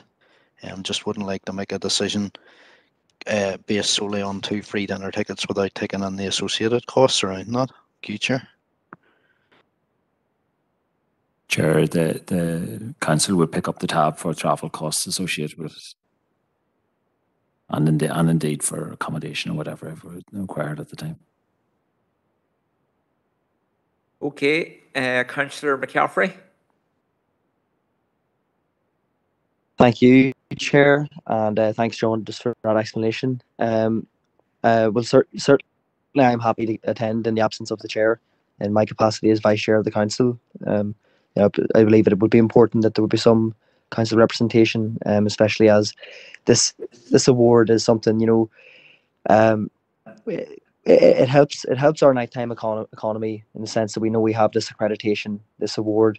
Um, you know, it it um, shows that our district is safe and that people can um, socialize freely within within our district as well. So I, I do believe it's an important award um, to have. So uh, I I would be happy to attend uh, the event. Thank you. Okay, uh, I'm going back to councillor Garrity. Do you want to? Chair, just briefly to amend, um, and thanks Chris for clarifying and Errol their availability, and if it's just for uh, completeness, um, I propose then that Chris goes in the absence of Errol um, to the event to represent the council. Thank you. If, if that's the wishes of the members, thank you. Okay, councillor Thornton, are you happy enough to second that? Very happy to second that, Chair. Okay, uh, well, you've heard it uh, proposed and seconded that the vice chair, along with an officer, uh, attends this event. Is everybody happy with that? Chair, I w- I wouldn't be happy to support that, just given the lack of financials around it, so not at this stage, Yeah. thank you. Me neither. Victor, please. I myself, Chair. So three dissenters. Okay, that's passed. Thank you. Okay, we'll go on now to uh, next item is 9.2. Consider email correspondence dated the 3rd of March 22 from Tourism NI regarding Northern Ireland Hotels Federation Business Outlook seminar on the 15th of March in the La Mon Hotel.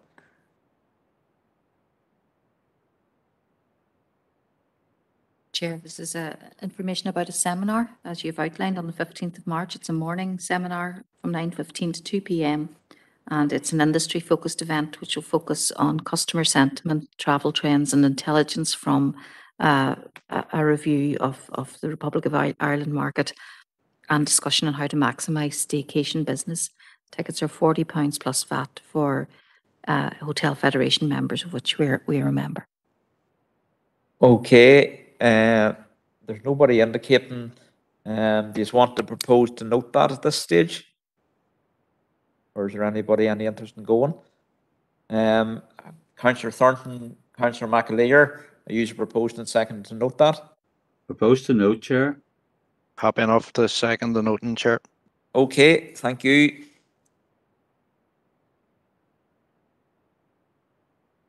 Okay, we're going to go at this stage, have a reason for doing this. We're going to go on at this stage to matters arising. Uh, so first of all, matters arising uh, from our meeting on the 8th of February uh, 22 and page one, page two, page three, page four, page five, page six, page seven, page eight, page nine, page ten, page eleven, page twelve, page thirteen, page fourteen. John? Yes, uh, thank you, Chair. Just uh, at 4.1 of the agenda, Chair, there is uh, a response in, in from uh, the Minister for Fi- Finance in, in relation to affording a scheme for all school children to receive a, a free school meal. Um, he refers uh, the issue uh, as previous to the Education Minister um, to bring forward proposals um, then it'll be considered by, by a future executive. Thank you, Chair. Okay, first up is Councillor Emmett McAleer. Thank you, Chair. Yeah, well, in relation to the correspondence, uh, we're seeing a pattern here just of, of disappointing uh, responses. Um, the the not my department excuse uh, being rolled out again. Um, it, it, it's well, the response speaks for itself. Um, the minister has no interest in, in affording uh, the most vulnerable uh, or working with the department or saying to take any proactive action in relation to the issue that the council's raised with them. So less than impressed with that. In relation to the issue around free school meals, I'd like to raise a further proposal because I've been contacted by a number of parents in the Omagh area who have explained their concern in relation to uh, children actually getting the school meals at their schools. And this is, I suppose, particularly referring to um, post-primary schools in the Omagh area, where uh, I've had a number of complaints in relation to children not getting uh, not getting a meal because they're maybe whatever part of the building they're in by the time they get released from class and out to the canteen there's nothing left. Or a, a secondary complaint being that um, they, they're given an allowance for a meal and I think the, the education authority previously allowed the previously informed us that uh, people weren't being given a monetary value. They were being given an entitlement to a nutritious school meal. But we're being advised by some schools that they're actually being given a monetary value and therefore they're not necessarily able to afford a full what's been described as a full nutritious school dinner. So I would like the council actually to make representation to the schools in the Omagh area, that's the, the post-primary schools in the Omagh area, just really to get confirmation in relation to those claims that are coming in from from a number of concerned parents that have contacted me, and I'm sure I'm not the only person that's received these complaints and these these queries, because you know this is a matter of huge concern. If our young people aren't receiving what they're entitled to in terms of that food nutritious school dinner and, and that which the, the EA has previously advised us they are entitled to and they are in receipt of, then that's a matter of huge concern for this district council. So I would make a proposal that we follow up follow up with the local schools again it's the only area I've been contacted about. If if other members have been informed about other areas, I'm happy to widen that out. But that would be my proposal, Chair. Thank you. Okay, thank you. Before we go any further, can I have a proposer and seconder, please, to extend the meeting by half an hour, proposed by Councillor Feely, seconded by Councillor Curry. Uh, okay, next we are on to Councillor Donal O'Cofaigh. Yeah, thanks, Chair. Um, I'm happy to start off with by seconding uh, the proposal, and I, I, I assume I, I think he said uh, uh, uh, Emmett there had proposed the, to note, but uh, if if not, I propose to note or second, whichever. Um, the the the uh, the issue that Emmett's raised, as far as I gather, is indeed um, quite a, a a widespread one and has been for some while. Um, although there is a notion, notional value uh, attributed to a free school meal, uh, it is also uh, often represented in terms of a value, and the value does not therefore translate into uh, what you might anticipate. So I, I think perhaps we may need to widen it out, but certainly I'm I'm happy to support it in relation to the schools he's identified. But I think we'll be back on this one.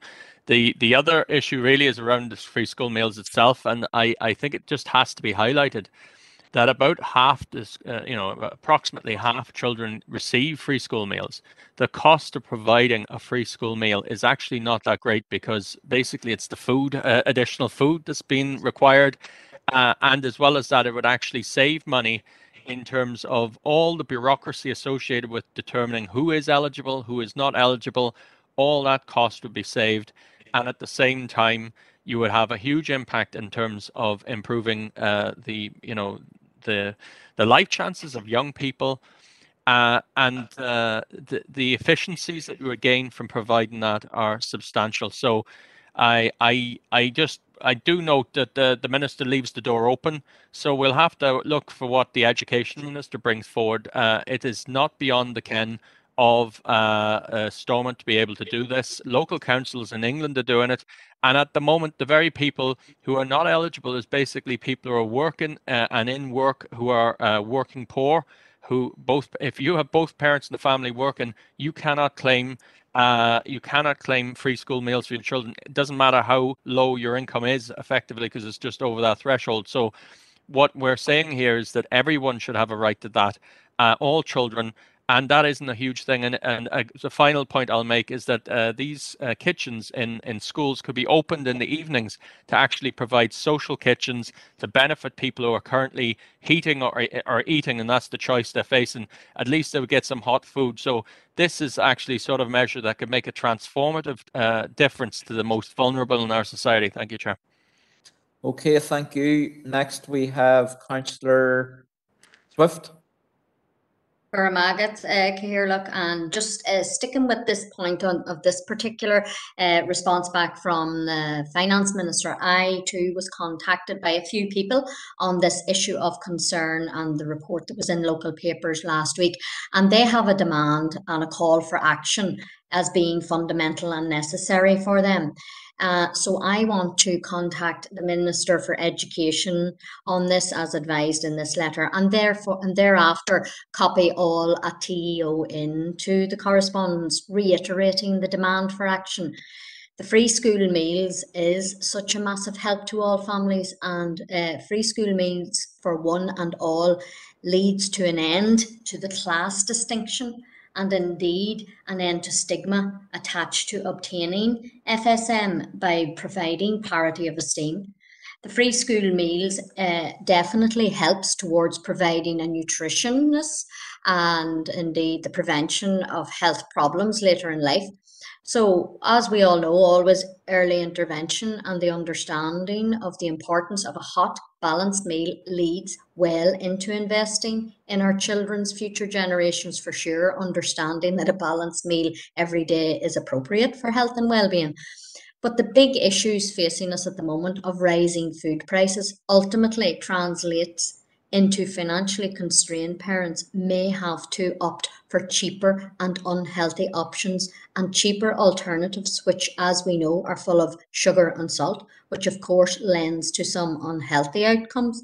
So, I would be suggesting strongly that the free school meals should be applied to one and all, and thereafter, people have the choice on whether they want to sustain their own food management.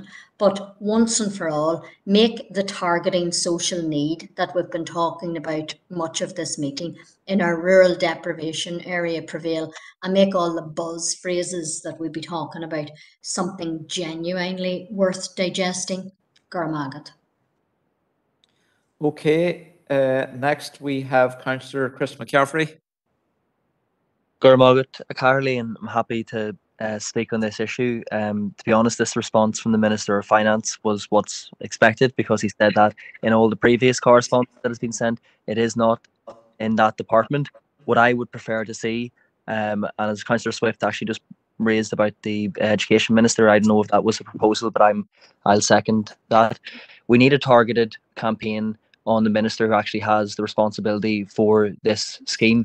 Uh, as a teacher myself, I see firsthand the benefit um, of free school meals. And let me just say this as well: that no children uh, in a school will go hungry because you know the, the teachers have uh, pastoral care and do look out for the kids. You know, we're able to do our job. So I think it's been a wee bit disingenuous to, to, to say that. Um, the free school meals, the difference between primary and, and secondary. In primary school, um, a meal is, is provided for the child. In the secondary school, they're given an allowance um, so they can purchase their own meal. And um, the scheme is of no- enormous benefit to children. Um, children in a learning environment need to be nourished and need to have um, a proper, healthy, nutritious food. So I, I'm greatly in, in support of this scheme. However, I want to see the campaign directed to the proper uh, department. I mean, I think it's bit um, ridiculous that um, we have some councillors coming in here and expressing uh, fa- false disappointment. Um, this is a minister here, Minister of Finance, who has frozen the regional rates for two years in a row and who's went to great lengths to mitigate against the brutal, cruel Tory cuts that are being inflict- inflicted um, right across um, England, Scotland, and Wales. Um, thankfully, we've been able to mitigate against some of them here. So I think that's extremely disingenuous coming from some of the other councillors, just to put that on, on record. Um, I, I would call that we have um, a focused, targeted campaign, that we raise this directly with the Minister of Education. Uh, I think we should write to her now and request a meeting on this issue because we we, we do know it's a serious issue and we've had the socio-economic profile of the district. Um, indeed, there's rural deprivation, all these other factors affecting the Fermanagh district, and uh, I don't I don't think it's um, I don't think it's uh, insurmountable that we should have uh, free school meals for all children, and I would agree with the sentiments around ending the social uh, class or any stigma that would be in, involved with these with this scheme. Um, so I, I think I'll just leave my comments there, but just to really bring in um, to attention that this letter is going to the wrong minister, it's going to the wrong department. This would be the equivalent of pu- putting your letter in the toaster and expecting it to be posted. It needs to be, go to the right department to be dealt with on a targeted campaign, uh, focus campaign to the Minister of Education, who is the only person who bears responsibility for this scheme. Gormagoth.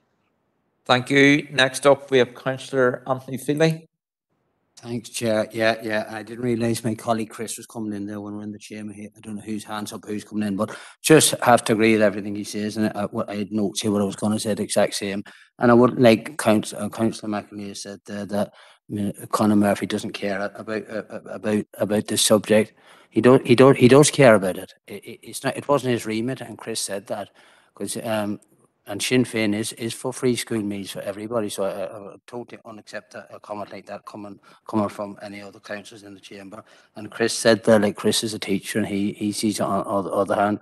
I'm a father, have kids at school. Not saying that I'd be looking for free school meals, but if it, it if it was offered to people, it just just and and it's gone totally to the wrong wrong person. They said that on the night of the meeting when it was proposed to write to the two ministers, and I said I, I said no, I wasn't agreeing with that. The whole lot was put out at hand. Then I said that we were against free school meals. We weren't against free school meals. We against sending the letter to the wrong person and send it to the the minister for uh, education. Thank you. Okay, thank you for that. Next, we have Councillor Josephine Deehan. Well, thank you, Chair, and it's been a very interesting uh, debate. Um, I certainly, uh, as a health professional, would advocate universal uh, free school meals for our children because, Chair, after all, our children are our future. And we all know that uh, in order for children to learn and develop and grow, uh, that they need to have a nutritionally balanced diet. And Councillor McCaffrey has already referred to how important it is that when children are in school in a learning environment, uh, that they are uh, well fed and able to avail uh, uh maximally of the education that they are given. And notwithstanding, I'm sure our teachers do discharge their pastoral duties to children in terms of ensuring uh, that they are not hungry.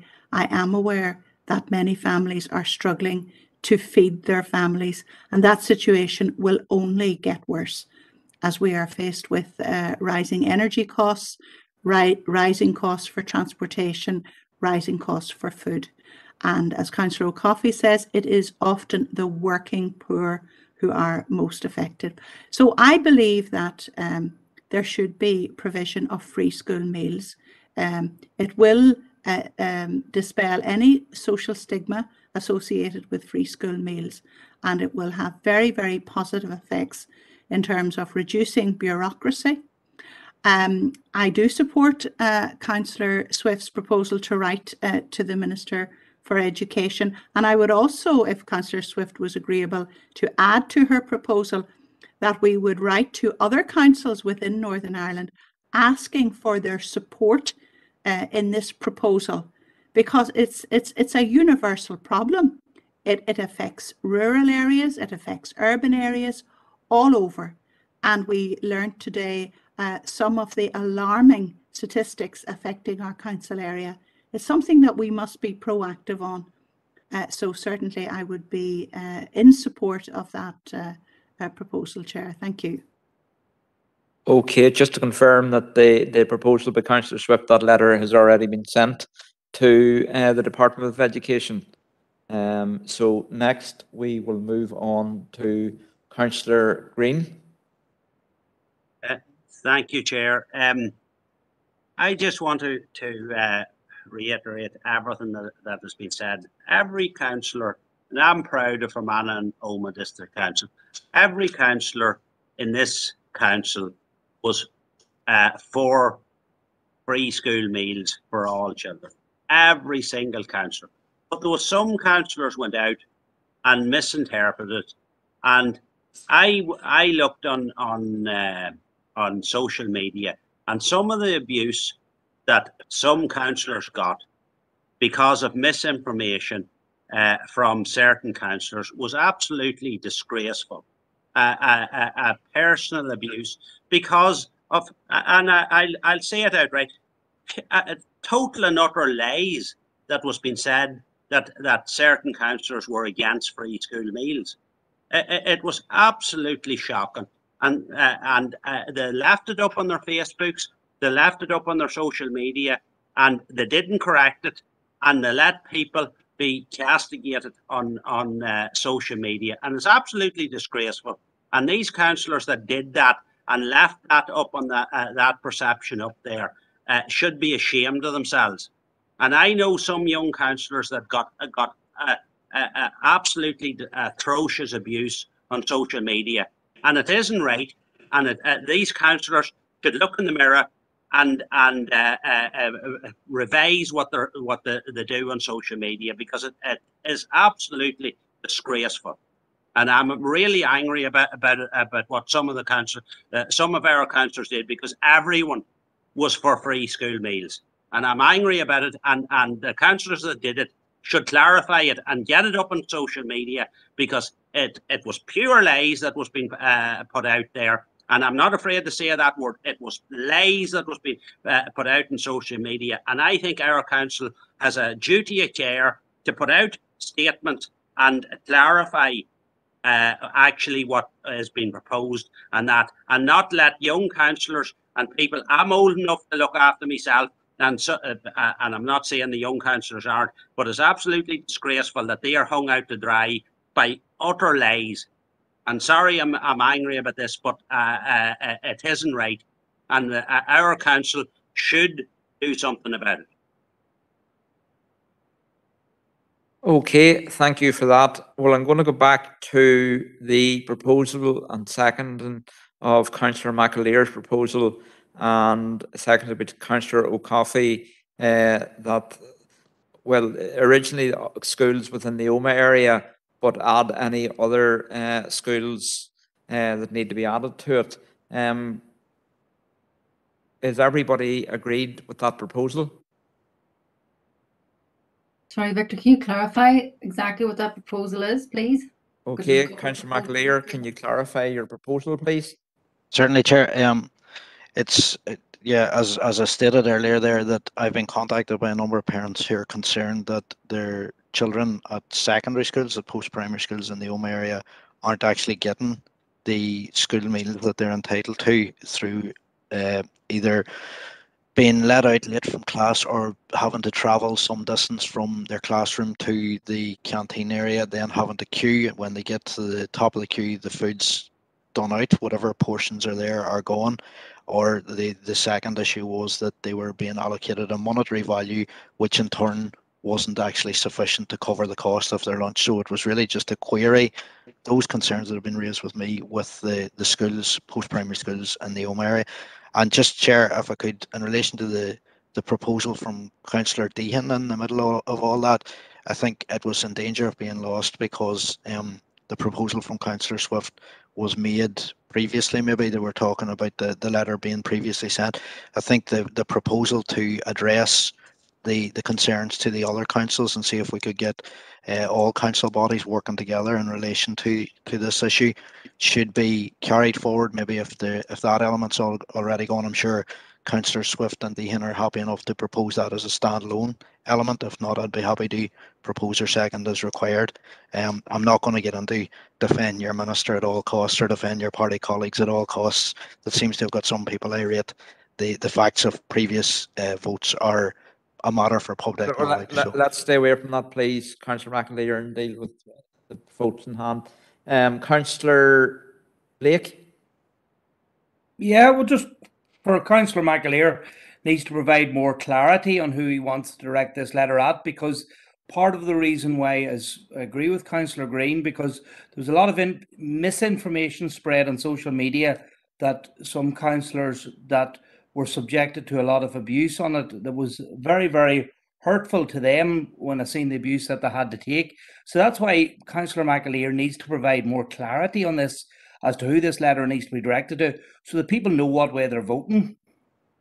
Chair, Chair, if I could, on a point of clarity there, the the reason I'm not naming particular schools is so that we can send a letter out across the board to see if this is common practice or it is just something that's been identified in one or two schools. Um, that's why I've limited it to the Omagh area. Um, as I said, if it's happening in the Enniskillen area or other areas of the district, I'm happy to widen it out. It's specifically to post-primary schools in the Omagh area, um, and it's to clarify or to confirm uh, what is being suggested by these parents. So it's a fact-finding corresponds. I don't um I fail to see what the issue is that, that some councillors seem to have in comprehending or supporting that, but I'm I'm happy to clarify further if needs be. Councillor Maguire? Morgan Carley, well, I, th- I think the clarification, uh, as I see it, is that uh, we all have the authority as local councillors to contact the individual schools. And uh, I would suggest that uh, the councillor would possibly do that as part of his own council remit and uh, not muddy the water in that there was a very clear and concise uh, proposal from councillor Swift, which uh, I, I would suggest superimposes the, the councillor's uh, individual issues. I would suggest he could deal with them individually and that we as a council would support councillor Swift's proposal, seconded by councillor McCaffrey. And I believe in councillor McCaffrey's submission, there was some clarification as to distinction between primary and post-primary uh, funding for meals. I believe that clarification was there. So if I could suggest that, Chair, that we would uh, go with the major proposal of councillor Swift, which is uh, something really we as a council should be involved in, and uh, suggest to the councillor that he deals with those local issues, as we all do in our own area. Gurmagad. Councillor Anne Marie Donnelly. Sorry, Chair, I don't have my No, hand. sorry, Anne Marie Fitzgerald. Yes, Chair, Sorry. thanks, Victor. Victor, Sorry. I'll be very, hiya. Sorry, no, no, it's okay, Victor. Come here, I'll be very quick. Um, I know a lot of us is on a board of governors and um, school meals, whilst they're provided on the on the school facilities, they have no um, schools and the headmasters have no direct authority over them on secondary school level. I'm unsure about primaries, but secondary school level, um, school principals have no recourse over secondary school meals as through the education board, 100% fact. So um, I think to put the additional pressure on schools is unfair because it's factually incorrect that they have any um, authority over school meals in their premises. Thank you. What are we doing here? I bring Uh, Councillor Hodring Kelly. Thanks, Chair. Um, wasn't really going to speak on this, but as someone who works in a post-primary school, um, schools are going over and above for each and every pupil. Well, I know any of the schools I have worked in, that's the case. Um, Councillor Fitzgerald's right. This is an issue for the Education Authority if it involves post-primary schools, and I think we should direct it in that course. Um, it seems to me that we're going to tar all schools with the one brush which would be totally unfair. Um, it's not something that I would favour doing anyway. Okay, thank you. Councillor Sean Clark.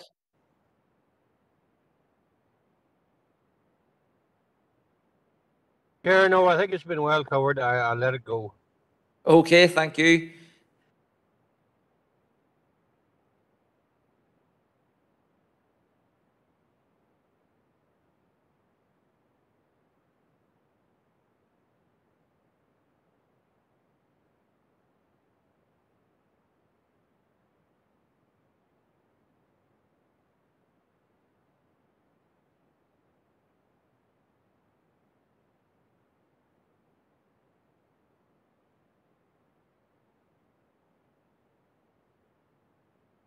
Okay, we're going to go to Councillor McAleer's proposal, uh, seconded by Councillor O'Cofaigh.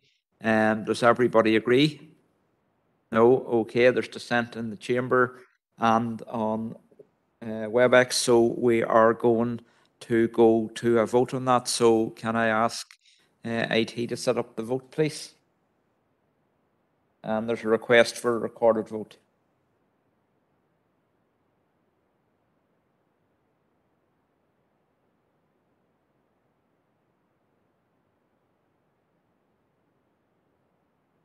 Chair, if I could clarify as well just what the vote is on in relation to just some of the So- comments. Sorry, Councillor McAleer, the vote has started, so we're going to have to, we're going to have to let that continue, please.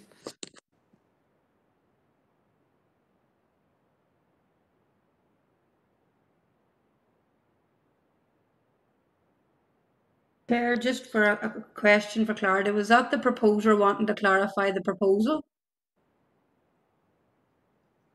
please. please. Well, that just makes for all concerned, confused now, Victor. Thanks, Chair.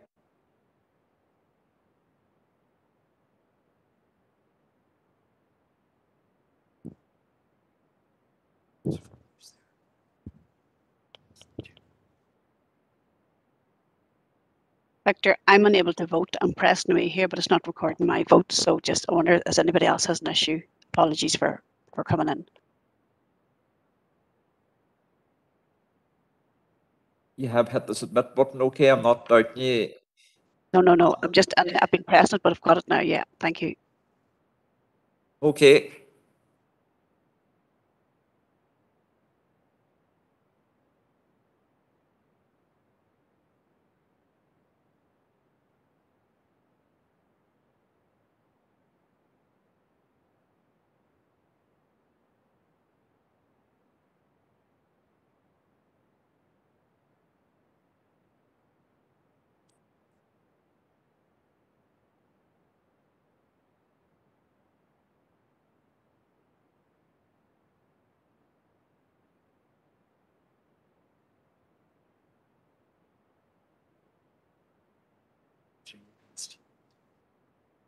Okay, so the results of that vote uh, was four for 20, 23 against, so that falls. We'll now go on to councillor uh, Swift's proposal, seconded by councillor McCaffrey, that uh, we write to all councils to um, basically get their get their views on this. So is everybody agreeable with that proposal? Yes, Victor, it was uh, Josephine who had made that um, amendment to what I had said. And uh, to further state, I know while a letter has already previously been sent to the Minister for Education, I would question why she has failed to respond. Uh, Conor Murphy managed to respond to us, so it would do no harm to send a tentative reminder with Okay. a priority exclamation mark attached to it, given the thrust of all members' discussion on this very important FSM issue. Gormagat. Uh, so sorry, councillor Deehan, that was your proposal, seconded by councillor McCaffrey, um, that we contact all councils to get their views. Is everybody happy with that proposal?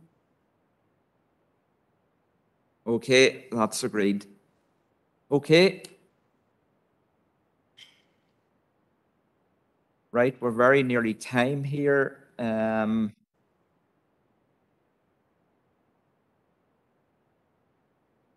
Right, we've just finished the uh, Matters Arising, uh, page 16, page 17. Yes, Chair, there, there's an item of correspondence at nine point two point two of the agenda uh, in relation to a response from the Western Health and Social Care Trust in relation to uh, training of general practice personnel. Uh, you will see the Chief Executive has pointed the council in the, in the uh, direction of the Senior Responsible Officer, Mr. Gerard Cassidy, uh, who will um, for in relation to the training of, of the personnel queries that, that we raise. Okay, councillor Deehan, just a reminder that we're very, we're very close on time here. Yes, thank you, Chair. I'll be brief. Well, just I propose we note the correspondence. I'm disappointed yet again in this response because uh, the, uh, Mr. Guckian did not address the issues uh, that we raised in our correspondence. Uh, the issues was uh, really seeking uh, action from the trust to progress accommodation issues and also uh, to engage the trust in providing the necessary personnel to support the multidisciplinary teams. And again, those issues have not uh, uh, been addressed.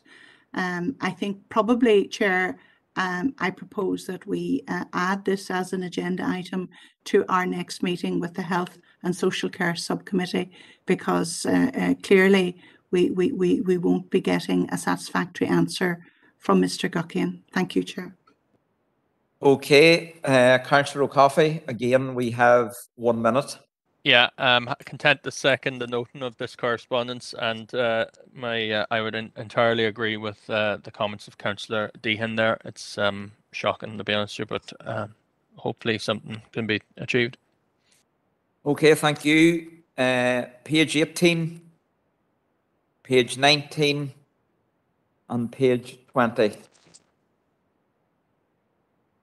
Okay, um, I there's one more item of correspondence. Uh, bear with us.